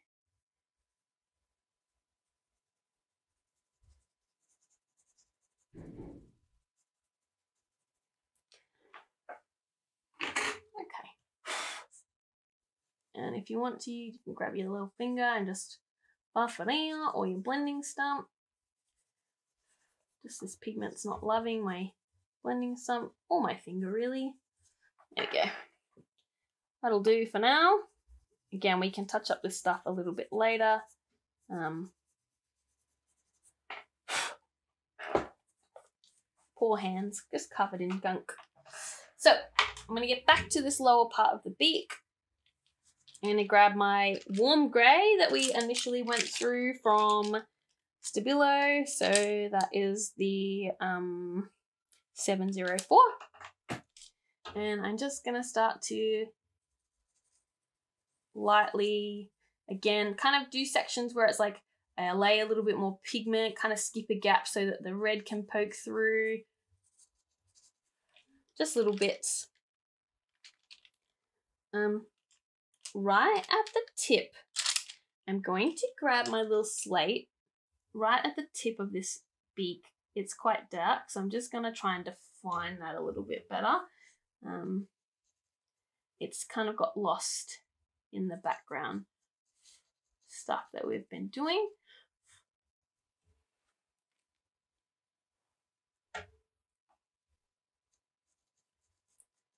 Okay, now we're going to come back in with our um, light flesh 10%. And we're just gonna, again, like little little dots and lines and just kind of drag that down and out. Some with more pressure than others. And then we can switch over to our white. And same thing, but being more sparing, so not doing the whole bit, just kind of skipping gaps. Follow the bottom of that beak. And then here, there seems to be quite a white part, so I'm just gonna apply my pigment a bit heavier handed. Then we have, I'm gonna grab my black, so we have the orange meets the red, which then becomes really dark on this inner or this outer line. So I'm gonna start to kind of pop that in, follow the red, and then same, just applying a little bit more pigment we're going to grab our dark carmine and start to blend the black with the bright red.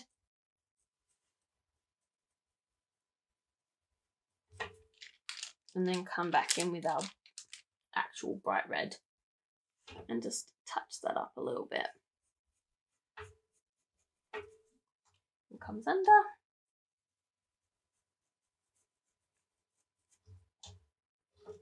And then under here.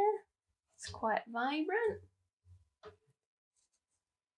And if you need to, just pop a little bit of red through there. Now we do have a bright section, so we're going to take our warm grey. I've somehow missed that, so it goes dark and then it's kind of light. Which meets with this one. grab our white, do the outer edge, so that outer line, and then just kind of dots and drag it down.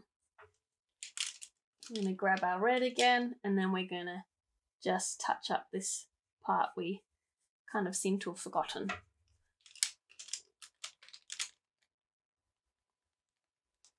Grab our dark carmine and just deepen some of these sections, like just little patches where we can see in the beak that it's like a bit darker.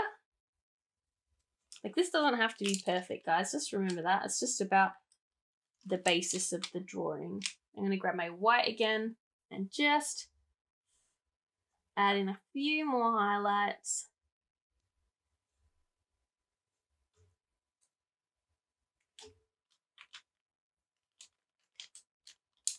And then grab my black and just very lightly give the beaker border in some sections, not the whole thing.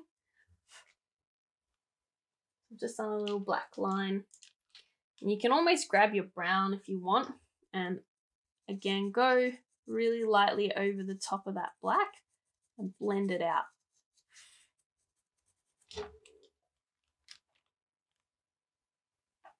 And then we're going to come up. Go in with your pencil where you need to and just re-add in your highlights if you accidentally smear them out, which is what I constantly do.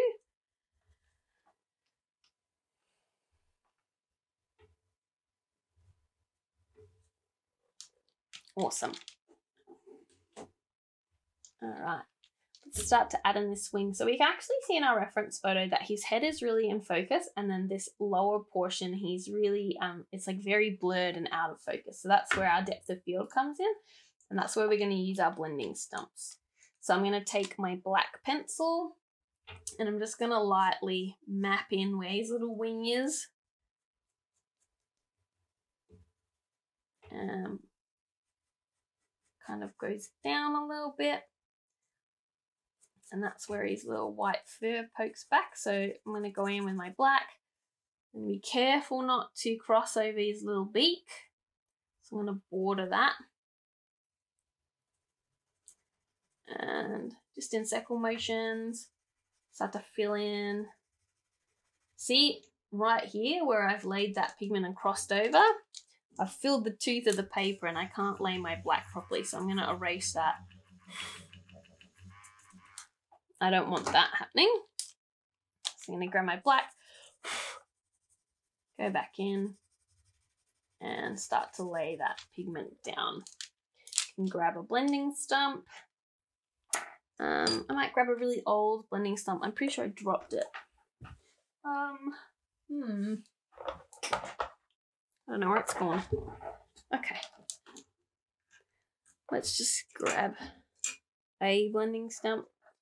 I'm going to start to push that black pigment in. Just trying to fill in the base of my wing, the colour. Little circular motions. When you use a blending stump, it is going to pull pigment out. So that's when you can just see there, Let's blow it away.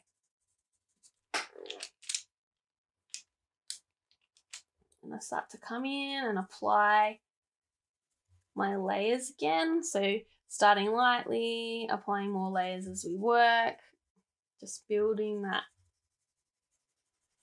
color.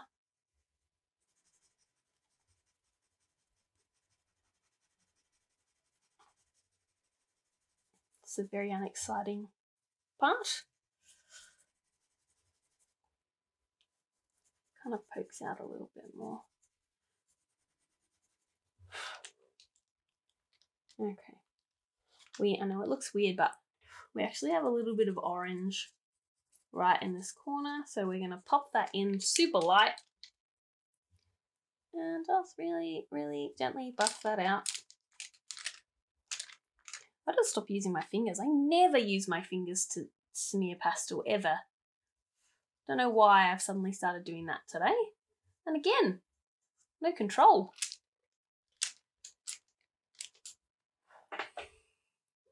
Okay, just touching up the tip of his beak, it really annoys me when it's not sharp, like the detail's not sharp, so I'm just correcting that. And then I can grab my red if I need and just go in and touch that up. I want my beak to look really nice and clean.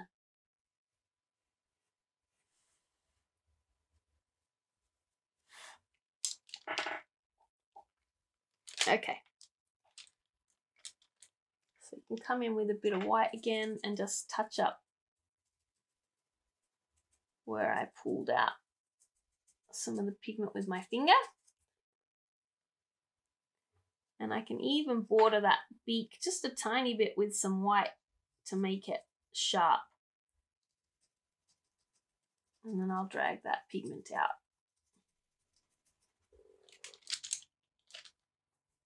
Clean my blending stump. And just lightly, lightly, lightly touch and buff the paper.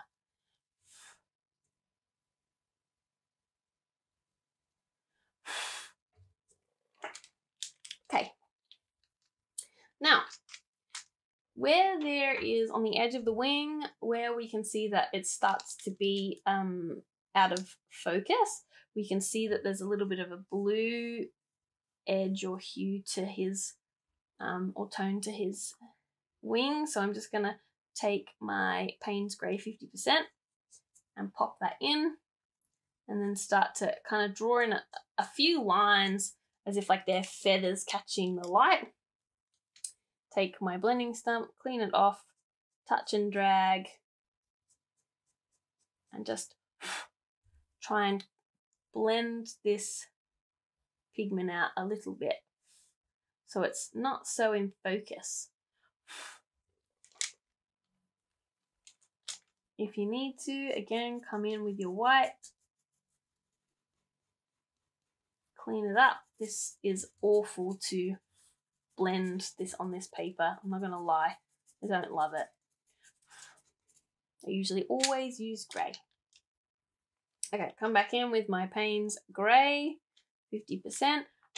Same thing, just start to draw the lines in. It's a lot of um, layering, buffing out, layering, buffing out to get depth of field. I'm going to come back in with my um, greyish black. Oh god, now my lawnmower man's just arrived. There was the next door neighbour's lawnmower man, now my one's just come here. oh, it's too much, guys. Okay, I'm just going to border the wing again.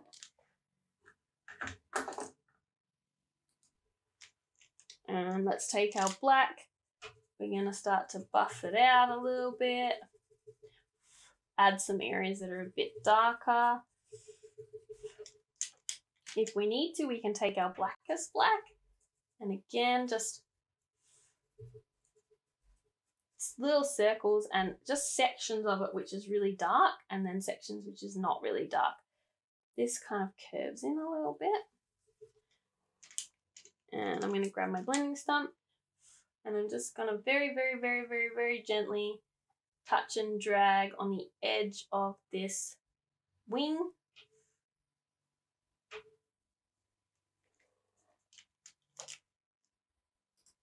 I'm also just going to come back in with my warm grey, so my 704, and right at the bottom of this beak, kind of pokes out and then there's a bit of a sharp corner. So I just want to kind of replicate that for him and then come back in with my yellowy colours over the top.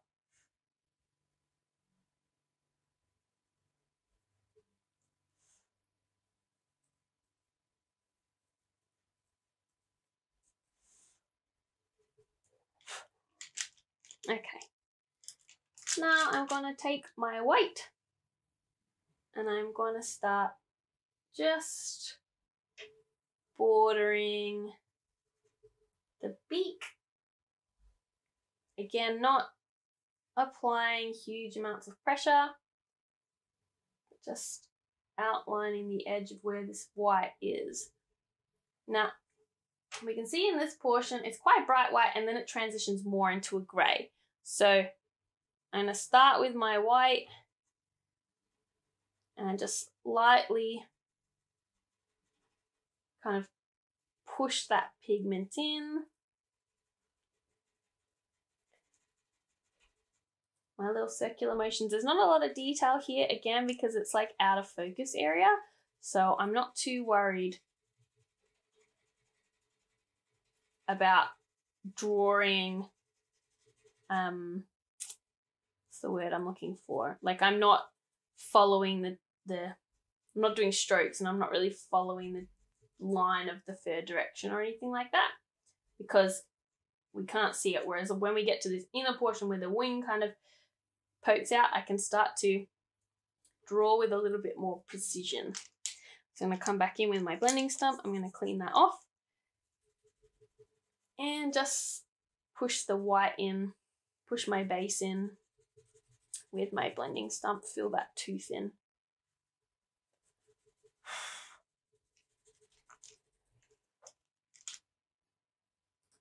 I'm gonna grab, so this little lumpy bit here is like a really bright yellow. So I've grabbed out my gold car cadmium, cadmium yellow, gold cadmium yellow from um, Caran d'Ache, and I, am actually gonna erase this as much as I can before I lay this pigment in. So I'm gonna grab my, yeah, my dark cadmium, gold cadmium yellow, and I'm gonna start to just, again, lightly buff in little circles to fill in this area. And we'll add more depth with our oranges and like reddy browns. So we can push that pigment in with our blending stump if you need. Okay, let's take a saffron, maybe? Saffron? Mm. Let's actually take the 221 from Stabilo and we're going to start to fill in some of these areas where we've got some dark orange. it's kind of like a wrinkly little brain, this part. So I'm just going to do some lines. And I might come in with my dark carmine and start to draw in with a bit more detail some of these areas.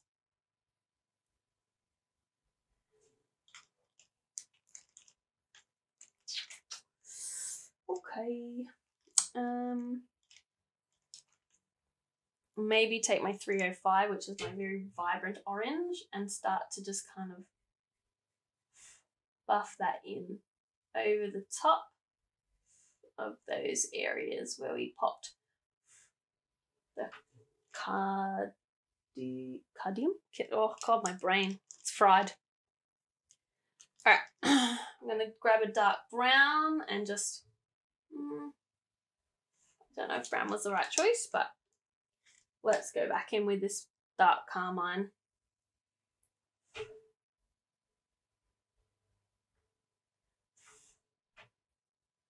And you can see I'm just kind of going over and then blending and then going over and blending. Come back in with your bright yellow if you need. Just pop in some details. As I said, it's quite wrinkly, a little bit like a brain. So you can add in some of that information there. And then if you want to, you can get like a lighter yellow and highlight the edge.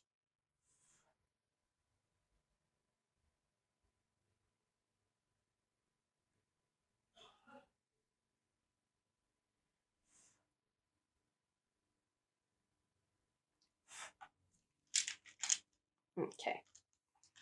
I want to take my um, black and I'm going to really, really, really lightly just border the outer edge of that little yellow bit.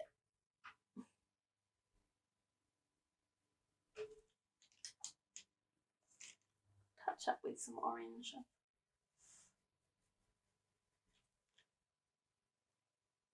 Okay. Let's take our 11212330, which is like a grey, that's like a warm or a cool grey. Is it a cool grey? It's like a cool grey from the Faber-Castell. And in this bottom inner portion, we're just going to start to fill that in a little bit. And then circular motions, very light, bring it out.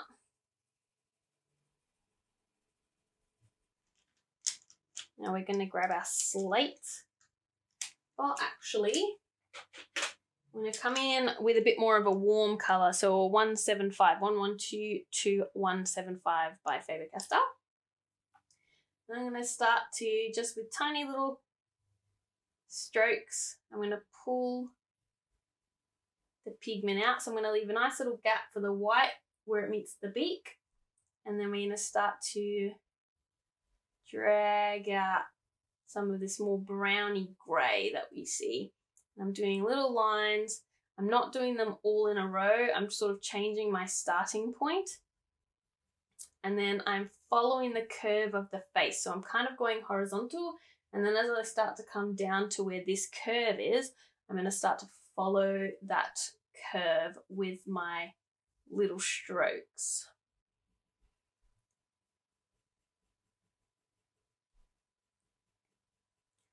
Just working my way down. Now, where the neck kind of ends or the head ends and starts to meet with this black, there is actually about about a one mil gap where there is more of a um, light grey colour. So again, just slowly working my way down. You don't have to be too neat, but being mindful to try and replicate roughly the size of the strokes. We don't want to be doing huge long strokes when the fur is or the feathers are only little. Just here. So I'm going to come back in with that light grey, the 230. And just come along this inner bottom border. And then as we get to where the eye is, so where the eye kind of meets with here, the strokes really change to like a little comma. Is comma the right word? Yeah, probably a little comma. So we want to start to replicate that with our pencil.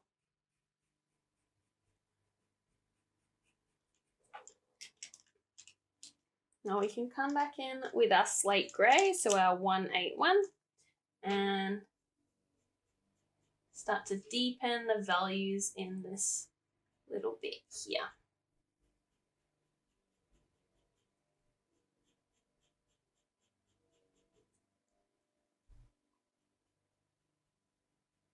You can bring a few little sparse hairs over into your grey. Not too many. Remember, it starts to really curve down in this portion. We're going to take our black right on the border of this, we're going to have some darkness right on the edge. And then it kind of has a little curve, like a little C just here. So we're going to try and implement a little bit of that. We'll take a blending stump and just blend it out a little bit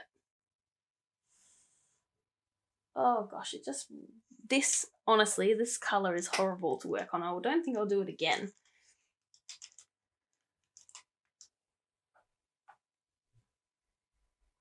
And just keep working around. We'll come back in with our black and we're just adding a few little bits in there. And I'm going to come back in with my grey, the 230, and start to do some um, hairs in here, but I'm sort of doing a little feather and then skipping a big gap. So I'm only implementing a little bit of them, almost like a highlight. And we can grab our white and we can do, again, sort of popping one in, having a little gap, and then being very sparse um, with how much white we put in. Not very much at all is what I essentially want. Okay.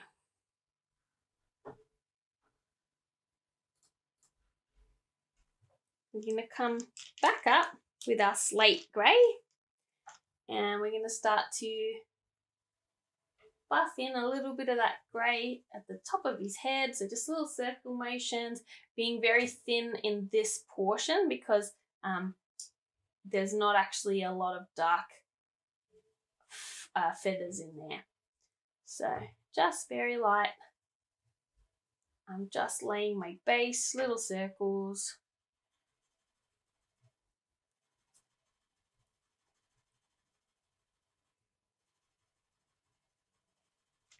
And then I can get my blending stump and push that into the tooth of the paper.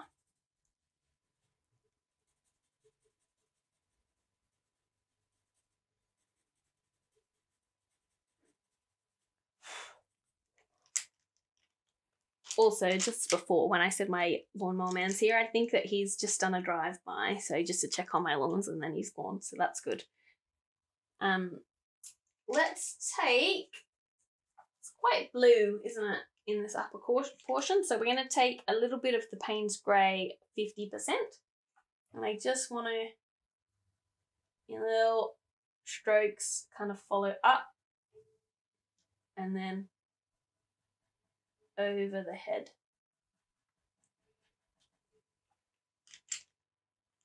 We're going to grab our warm grey, so the 704, and we're going to start to, again, from the where the beak starts, just really light circular motions buff that outwards. And remember, this middle portion that I talked about is a lot lighter. So it's just like a, a little circle or like a, a very weird half oval shape of where his fluff is. The sun's kind of hitting him, I think, or it's like transitioning in from white. So we're going to take our white pencil and we're just going to start to, around the edge of this nose here, there's like almost like a little sunshine rays coming off of little feathers. So we're just going to start to implement that. So I put a little bit in, I skip a little gap, I put a little bit in, and I'm working around with the shape of the nose, but keeping that almost, making sure that I'm I'm still doing like a, a little arching motion almost with my pencil as I work around the edge and then getting much smaller around the edges because again we want to make sure that we're um, replicating the appearance of or like so we can see the shape of the head and that so that we can see depth of field um, and more of a 3D appearance. So I'm going to come back in with this, um, actually, I'm going to come back in with the 122, 175, so like a browny kind of grey from um, Faber-Castell, and I'm going to start to add in some strokes. Again, following that like almost like sunshine ray of sunshine bursts, if that makes sense. And I'm just doing some and then skipping a gap. And you notice with his fluff that it almost kind of, um, there's almost like sections of it. So it's kind of like there's almost like lines like in a tree, if that makes sense. Like if you cut a tree open, you can see the rings. It's kind of like that with his fur when you look at it nice and close. And I am going to take my black now and I'm going to start to on this outer edge. So right along the border, it's a bit deeper and it kind of works its way in a little bit, not all the way. So I'm kind of, again, redefining these little rings that I talked about. And then on the edge, it's heavier and thicker black or like it's more, there's more depth and value in there that area. And then it gets, especially up over the eye, it gets quite black and dark. So keeping my pencil strokes not too long. Oh, I'm getting a cramp in my hand. And then we can come up at this eye, on the top of this brow, and just on the border, it's a little bit black. And then just add some sparse little black hairs in between. All right, guys, so I'm coming back in with the 230, and then I'm gonna start to just add in those little strokes up through this, um, do you call it the crown? I don't know what this part is called, um, but through this area.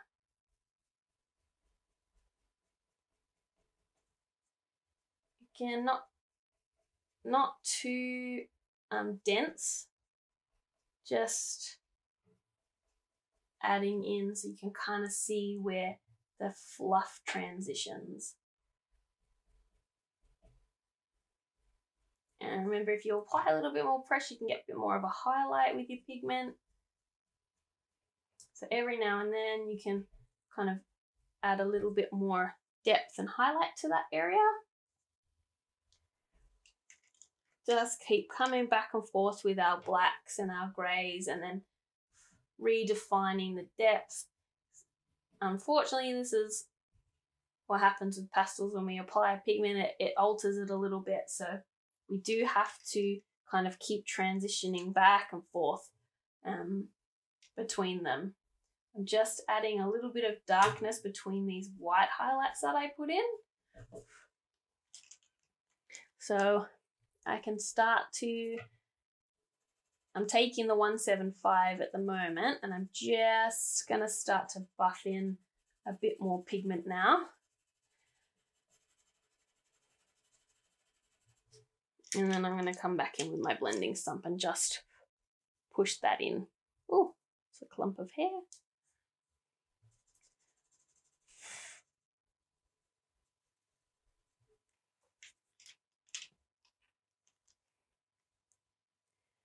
You want, just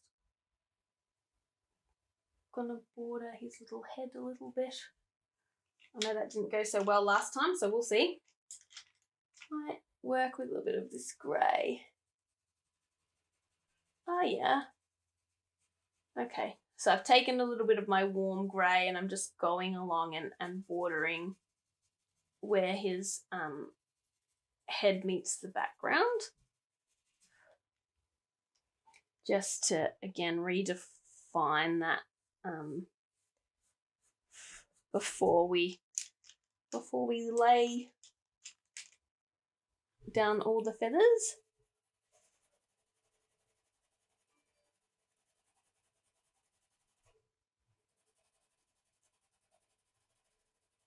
I've just taken that lighter grey, the uh, 230, and I again, I'm just going around and bordering his little head and then dragging the pigment up a little bit because I can buff it out.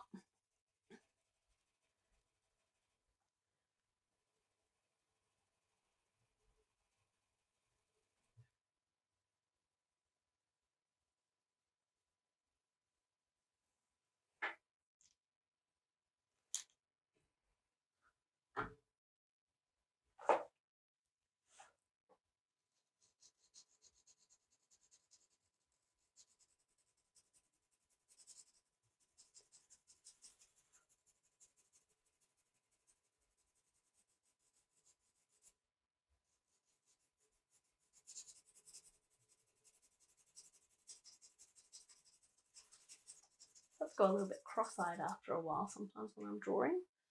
Um, I don't know if it's the lighting or, or what the go is, but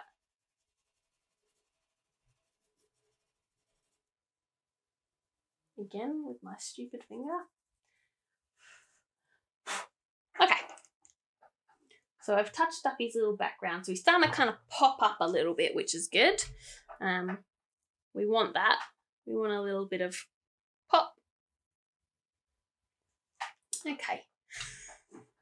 Coming back to my reference photo, we're going to take a little bit more of our slate grey.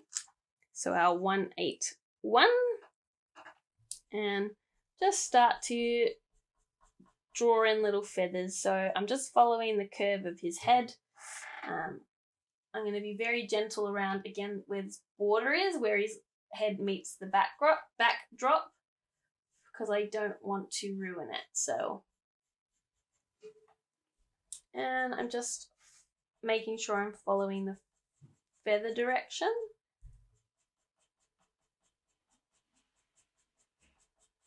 As I work along.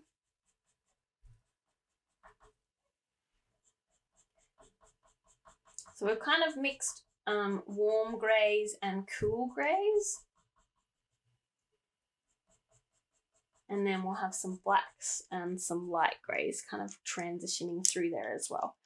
So I'm going to switch up and grab my black and I'm going to start to deepen these edges where it's definitely very dark for him. And you can see I'm kind of like cutting in on an angle because if we look at the reference photo up close, that's what his little feathers are doing. And then up at the top of his head, it gets quite dark in the middle. So again, I'm just doing the same thing, back and forth little strokes. I want to replicate his little dark patch. And then it kind of starts to merge and blend down towards this back end. And now I can just do some sporadic little black or dark feathers through this area. Remembering he's got those like ring, like loops over the top of his head. I'm trying to be consistent with that as I draw.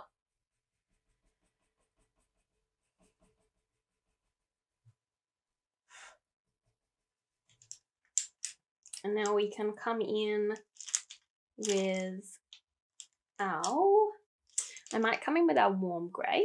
I don't want to go too light yet. And again, I'm just going to start to really gently pop in some of his little light feathers where the where the um, sun's hitting him. So just little strokes and then working out in like my again my sunshine kind of like ray of sunshine if that makes sense so like a, like a fanning motion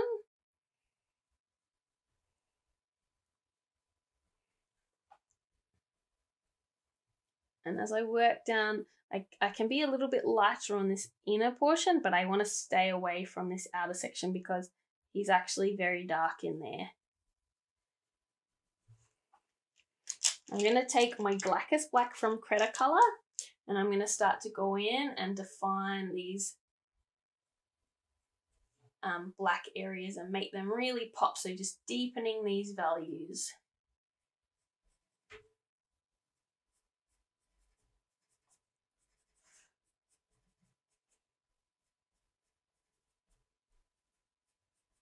I'm re going over these where I kind of put his dark patches just before. And I might come in with my blue and again, just do a similar sort of thing around the edge of his head because it is definitely a more blue color up and around there. So you could use any kind of dark blue. I just quite like these grays because he's it, it, it goes in line a little bit with the grey that he's already got and I think it contrasts nice with the background.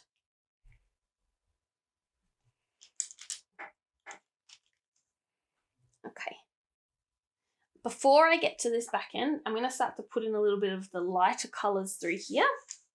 So let's go in with, mm, we'll lay like a light base. So we'll come in with our um, 230 and we're just going to really, really lightly um, start to kind of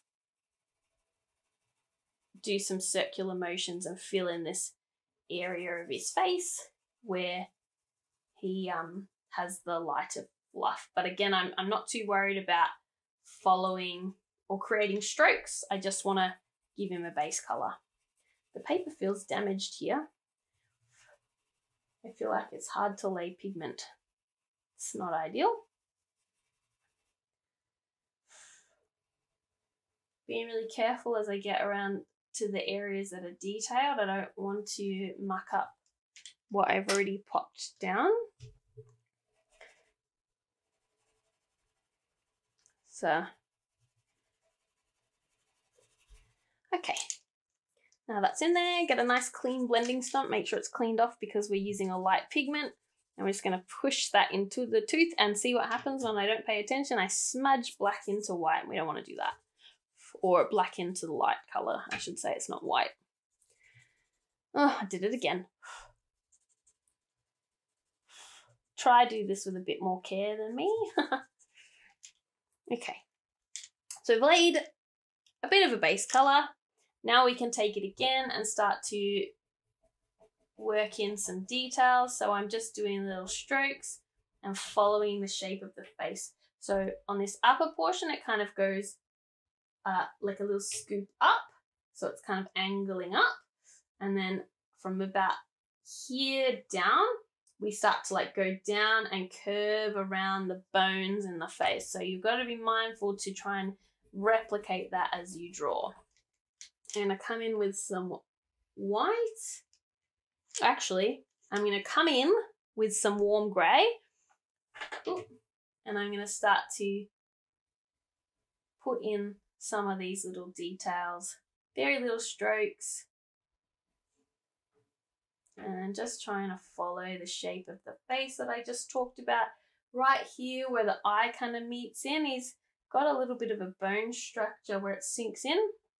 So we're just gonna um, try and replicate. That's kind of like his occipital bone. And it comes in. So darken that little gap there. And now I'm just doing little sparse feathers to get some depth. And then it's a bit darker around this edge here where it meets this little brain. I don't know what you want to call it. We're going to call it a little brain. It's probably his lip. his little lip where his mouth opens. I'm working down. And then under his eye gets quite light. I want to really try and erase this line here.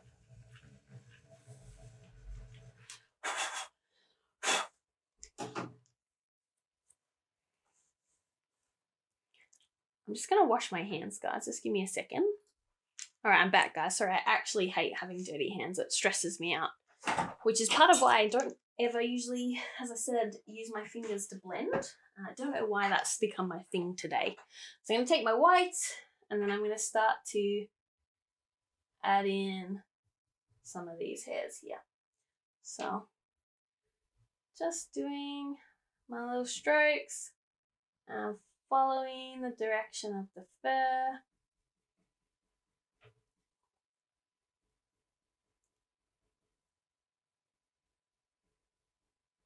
Start to come up and over this little brow bone. And the fur comes down. And we can cross over into this beak a little bit because he's almost got the feathers growing out those little follicles that I talked about earlier. So I'm going to try and replicate that.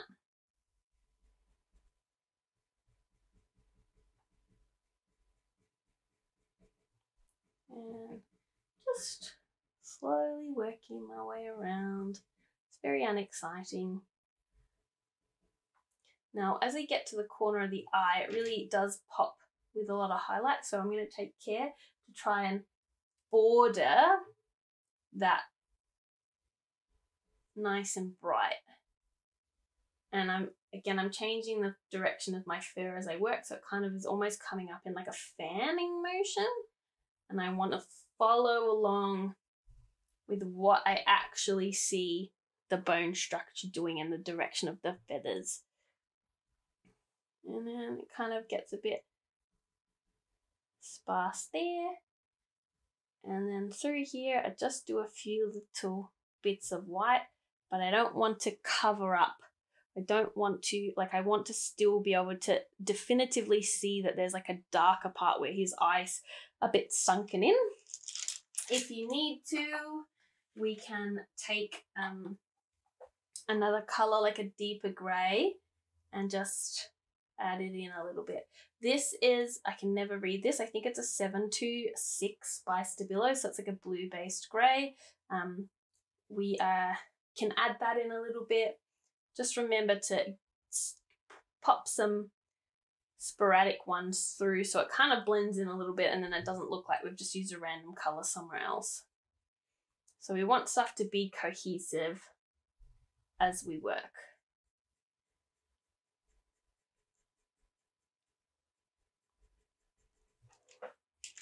So coming back in with my white. And then I can see under here, under the eye, it really starts to brighten up. So I'm gonna try and follow the bone structure. So it goes a bit like this. It's like kind of like a swoop and then around. Swoop with a little downward flick. Following the, the little puff for the puffin.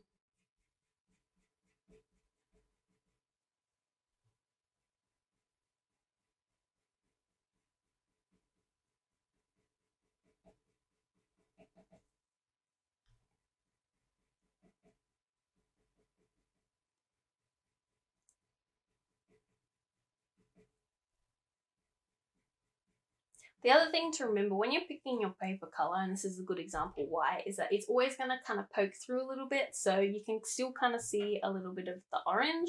Um, this is part of why a lot of people, especially with like painting, um, they do like a base color first.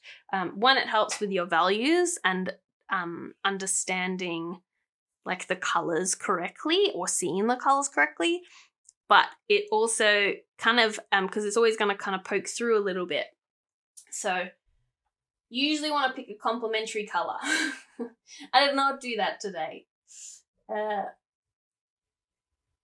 the best color I have found is the dark grey. That's my main color that I work on that you'll see 90% of my work done on. Um, but as I said, I just wanted to use this paper because I have it sitting around. I don't ever use this color. I figured I may as well. Okay. If you need to come back in with a lighter grey, but nothing, not, not one that's too dark, just to try and fill in some of these gaps.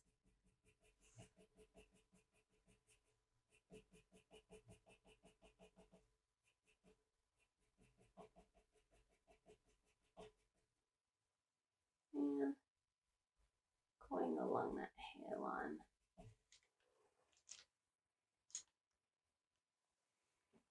I um I actually decided part of the reason I decided to draw the puffin was just because I was like, it's so weird. It's such a weird bird. Um I've not really seen I've never seen a puffin in real life. It's actually that I started following a photographer recently and he he had some photos of puffins. I was like, oh my god, what is this little bird? Um and then I found some royalty free photos that I could use. Um, and I thought, this is fun. This is fun. This should be a fun little guy to draw. I didn't think he would be too hard, but he is probably a little bit more complex than I anticipated. However, isn't that always the way? So I'm going to take my black now and I'm starting to just fill in a bit more of this little head part. Again, secular motions, I'm not too worried about the direction of the feathers because we're going to blend our base layer in with the blending stump. Just fill in that tooth.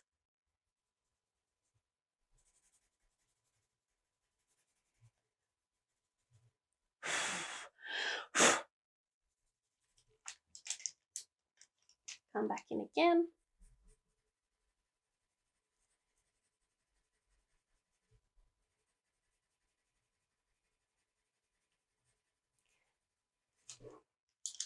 And I'm to take my blackest black and I'm to start to add in the detail with the, my blackest black.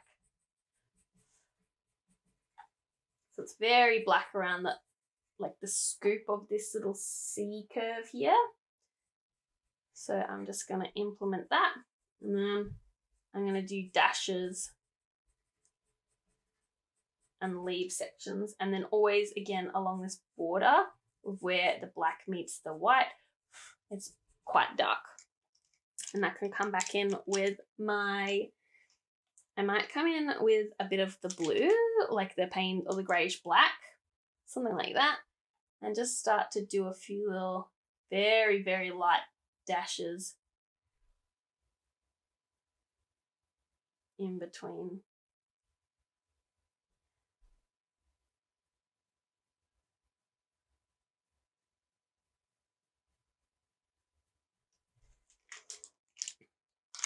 if you want to, take your blending stump, put it on like a 45 degree angle or as horizontal as you can, and just really lightly touch and drag that pigment down.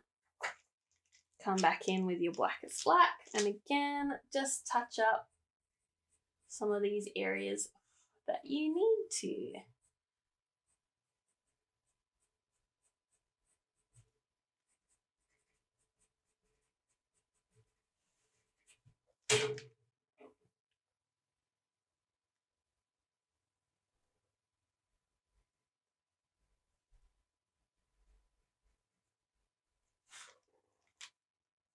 I'm always making mistakes, so I just go in and fix those up.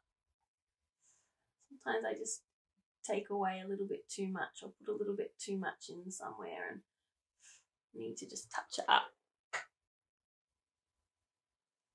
Okay, let's lay down a really, really, really, really, really small thin layer of the 175. Really thin. Just around here, around his eye. so that the, because there's quite a lot of shadow here.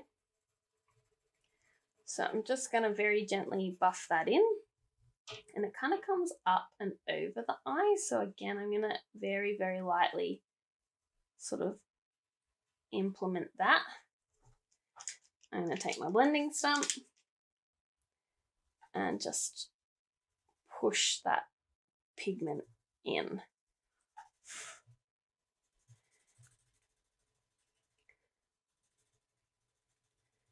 So he's got a bit of a base to work from. Cool. Okay. I'm going to take my white and right at the edge of the eye, I'm going to start to work my way out more in a horizontal manner.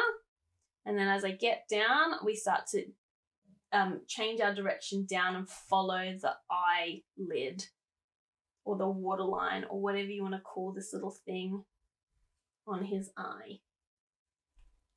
I'm going to come up and over.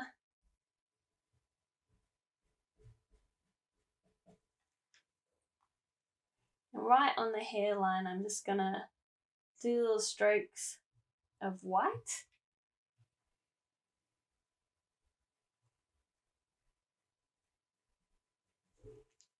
Now we're going to switch back to this 230, so this like lighter grey colour that we had. And then we want to start to follow the bone structure of the face so it kind of arches up and over and then comes down and more horizontal again. So right around the eye, it kind of does this little slide and then we become more horizontal. So that's what we're looking to implement as we work along here.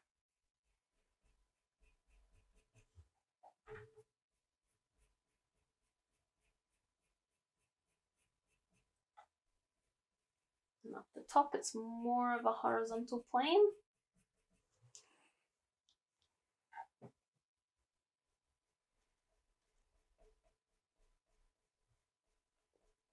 You can see again, I'm never really starting the, the feathers from the same spot. Like I don't draw in a line. I, I change my start direction all the time.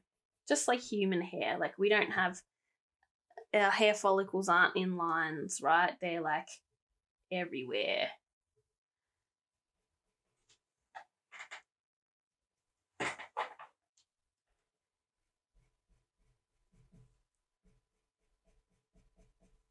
I'm going to scoop up a little bit on this little black line because we see his feathers kind of scoop up and then they meet back in the middle so they come back into like a V almost. And now I'm going to grab my weight and I'm going to start to pop in some little highlights through that feather.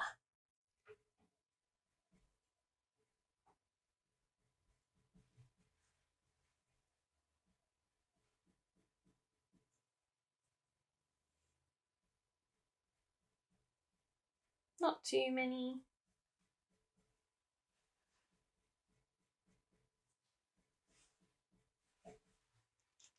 If you want to, you can take like your slate grey or maybe, maybe not, maybe not quite that dark. We might take something like the 726 if I can find it. Uh, where's it gone? I can't I just hold all my pencils in my hand and now I can't find, there it is. Oh. No, I, I, I tell a lie, we're to go back to the slate grey. And I'm just to, a few little, every now and then, pop in some dark spots where you can see as if like the feather is gapped all the way down to the skin and there's a little bit of a shadow. So not everywhere, just you, you know, being sparse with it. And then you can come back in with your white if you need.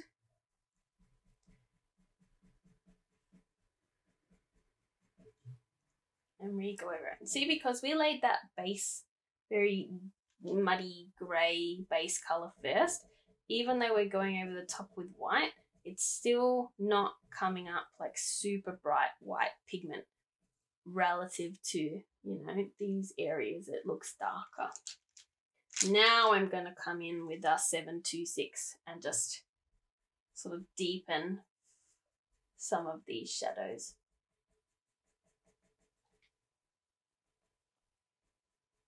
Here. And then it's darker on this edge, this bottom edge. Again, just keep coming back and forth with your switching between your pigments and working out where you need to make something a bit brighter or where you need to deepen your values a little bit. Because it constantly changes and the more we work on stuff that like it will keep happening like the more pigment we lay um, the more you need to kind of keep readjusting what you've already applied.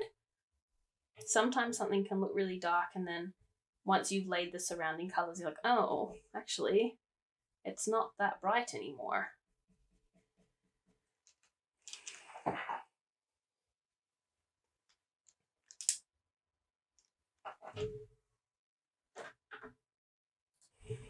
All right, let's take our 175 again, and it's a similar scenario, really thinly, just buff in along this edge.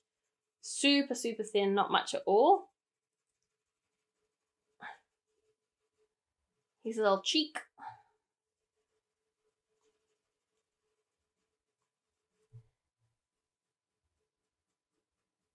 Add in some sporadic little fairies there if you need. Take your blending stump and buff it out.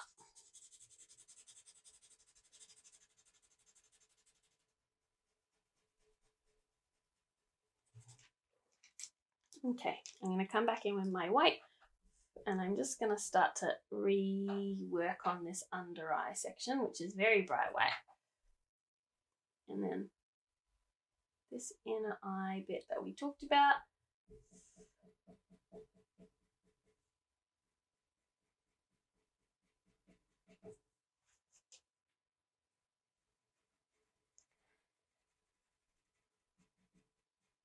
So it scoops under and then down and then comes up and goes horizontal along the border of his eye.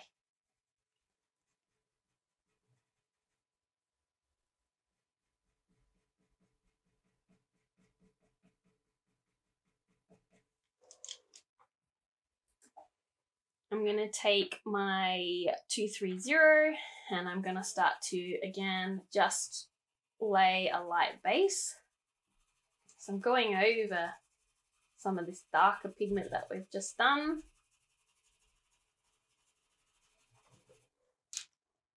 Again, take my clean blending stump and just blend in that light color into the tooth, give myself a good base.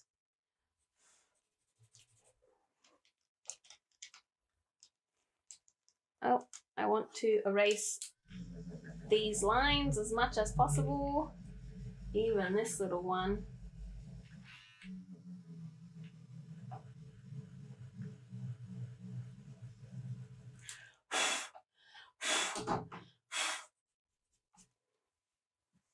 Okay.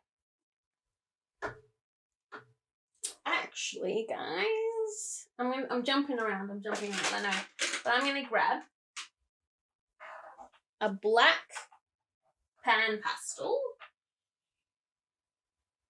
which the good question is, is where have I put the black PanPastel? I definitely had one. I must have dropped it. This is not ideal. Just a second. All right, I found it. So what I'm going to do is I'm going to grab my black PanPastel and I am going to start to um, fill in his little chest area. So just dipped in my pigment. I'm going to zoom out on my reference photo a little bit. Dipped in my pigment in my black. And I'm just starting to go along. Being really careful around this um, part where neck meets because I can just do that with a pencil with more precision. I just want to lay my base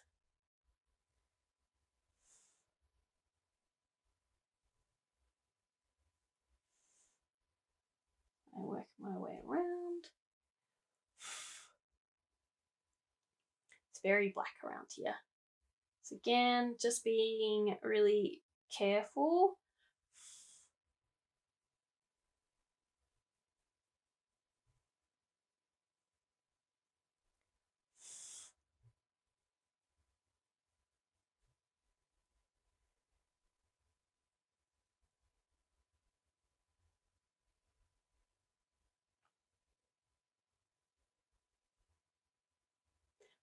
Get a lot of fallout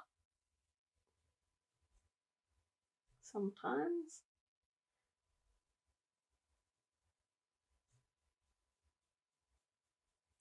Remember, if you don't have PanPastels, just use your pencils. It's cool. I'm just doing this because it's quicker. So, I've laid my base. I might grab a little bit of a light grey and actually take, so this is the raw umber tint and just start to kind of um, implement that in his cheek just so that I, again, don't have to use as much pigment. So I'm still trying to follow the feather direction.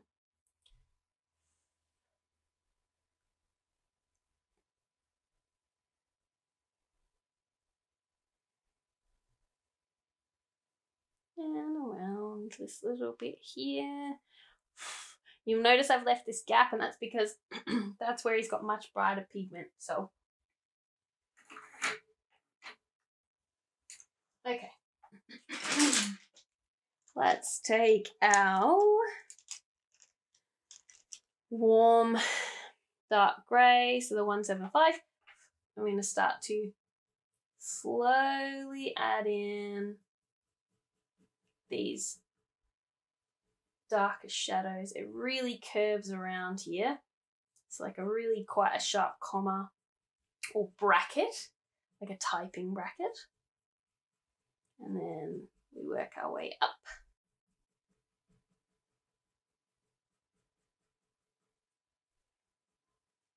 And under this section of the eye.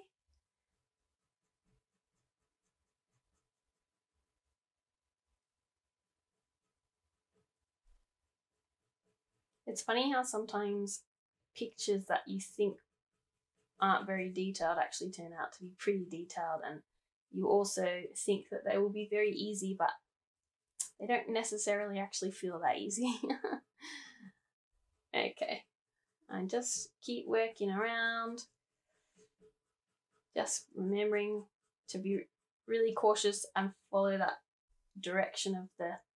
I keep trying to say fur because that's what I usually draw but the feathers.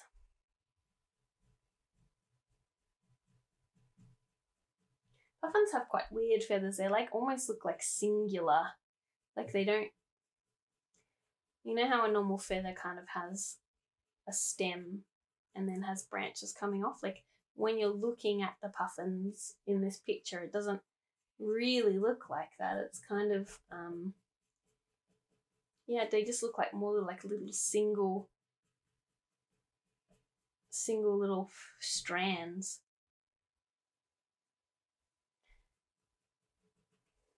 And we're going to grab our slate grey. Because um, it's a bit more of a cool grey. And we're going to start to implement that around this upper border. And then scooping. It's a very weird shape. I need to zoom in on my reference photo because I can't see properly. Okay, so it needs to kind of go like little half scoops going up this way.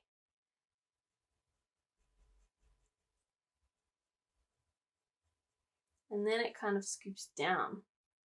So it scoops up and then kind of around and down as it meets into this lighter section.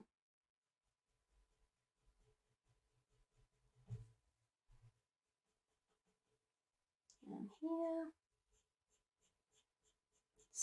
much more of a dense shadow in this little section just here. So I'm being a bit heavier with my pigment application. Remembering that little curve that gets very sharp around this portion.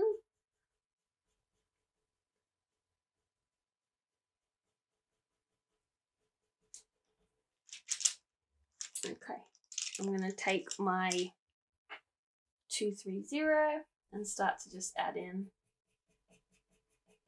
some more strokes through here.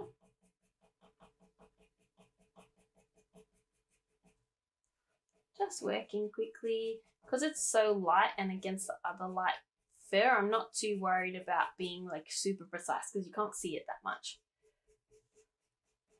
because of all the base colors that I've laid.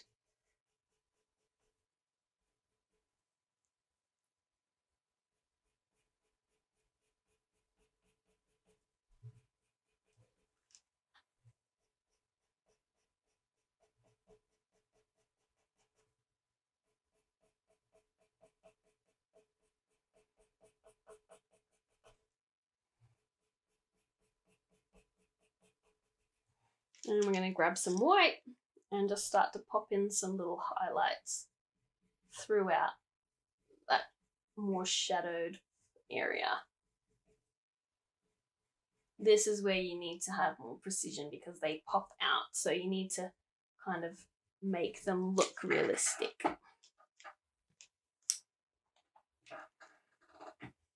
Some terrible hand cramps today. I don't know what's going on. I don't know if I'm just too far away from the desk, maybe.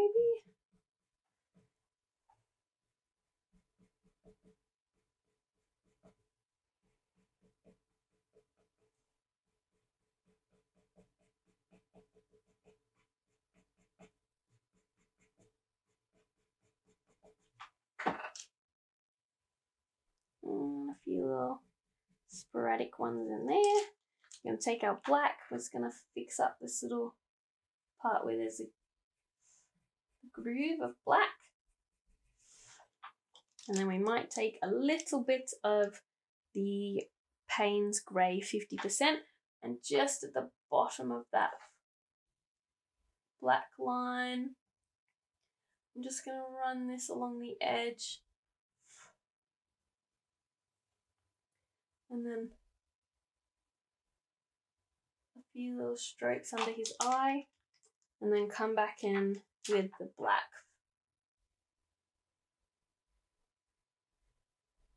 just under his eye.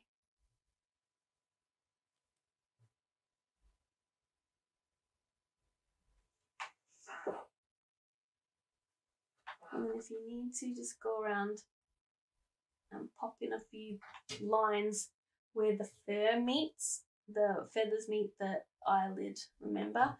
So just to deepen that a little bit, give it a bit more depth. And then you can, if you want, grab your blackest black and then just again deepen a couple of these spots. I don't do the whole thing, I kind of do like a little section and then skip a section.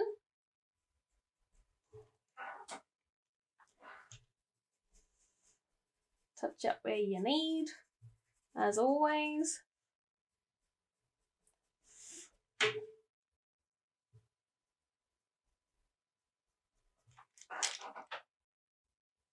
And I might grab my blending stump really lightly. Just go over that part and then get my light grey again and touch it up.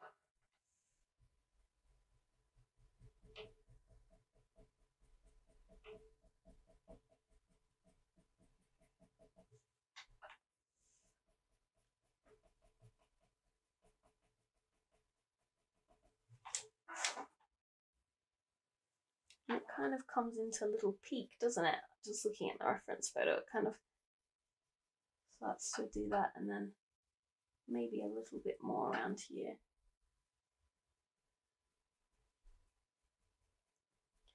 So with a, when I'm drawing, I, I, I try to replicate an image but also put my own spin on it. So it's never identical. I always make things a little bit different. Um, I think they call that creative license. but yeah, I never want my work to be like, well, it's not that I never want my work, but I, you know, it's enjoyable to me to have some slight, um, some slight, what's the word I want to use? Uh, just like of my own touches, really. Like, yeah, it's nice to have my own spin on things sometimes. I'm just touching up the bottom of this beak because it's a bit funny. Okay. Now, I'm going to fill in some of this black.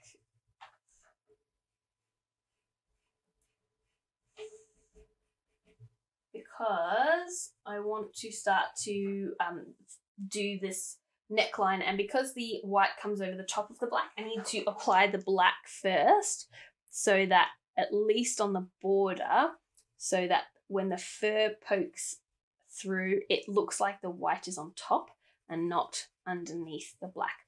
Um, so we definitely want to make sure that the layering is right. So I'm going to take my pencil here just because I can have a bit more precision. And then if you want to, you can just do some little drags up into the white or where the grey, the light grey will be. So we've popped that in there. I've dropped a pencil as usual. I don't know where it is.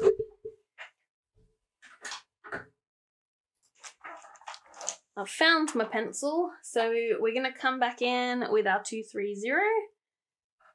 Um, we are just going to start to um, pop this little neck part in that's much lighter.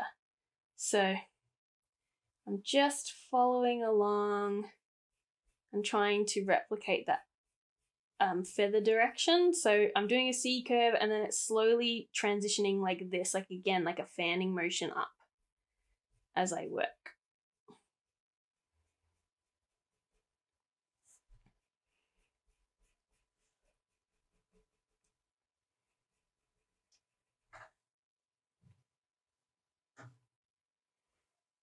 And then as we get up to this upper part, it kind of transitions more to an upward curve. So before we're doing a curve like this, and then as we work our way up, it kind of becomes more horizontal and then comes up and over like a wave almost.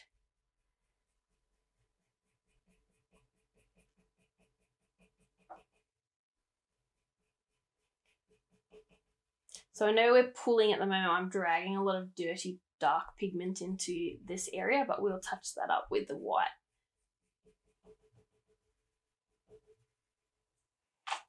So we're going to grab our white colour and start to draw in some little highlights on that little part of his neck where it kind of blends across.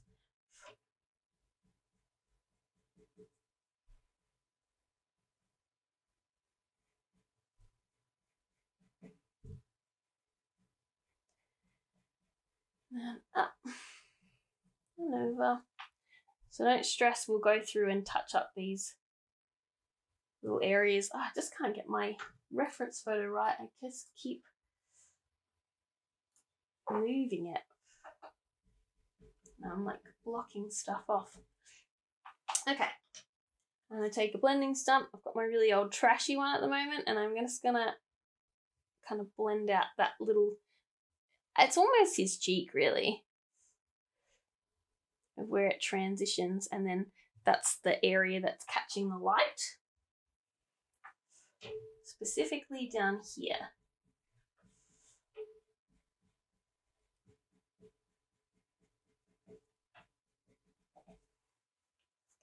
We can come back in with a bit more of our like slate color.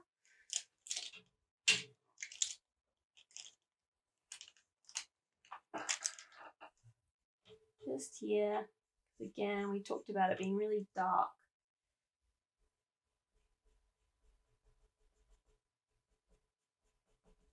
Just there. And then it kind of follows a fanning pattern just along the edge and then starts to flick up a little bit.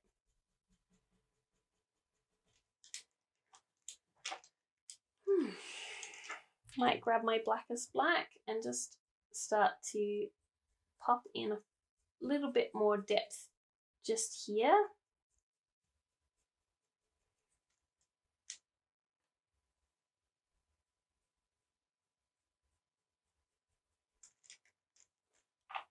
And then I can grab my clean blending stump and just gently touch and drag that out and blend it out just a little bit better. He's looking quite painterly, is, the, is what I'd like to say. Um,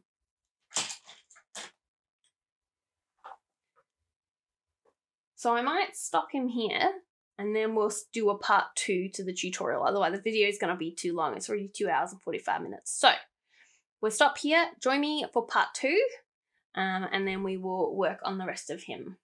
So thanks for watching so far. Um, don't again, please, if you haven't already, um, I'd really love your support. If you could like, follow, comment, share, all that jazz. Um, it really will help me. People who um, want to support my page, that or, or do support my page through all those manners as well as signing up to my Patreon. You are the reason that I can do this and why it's possible for me to do this. So I really, really appreciate it. And um, yeah, I will see you guys in the next half.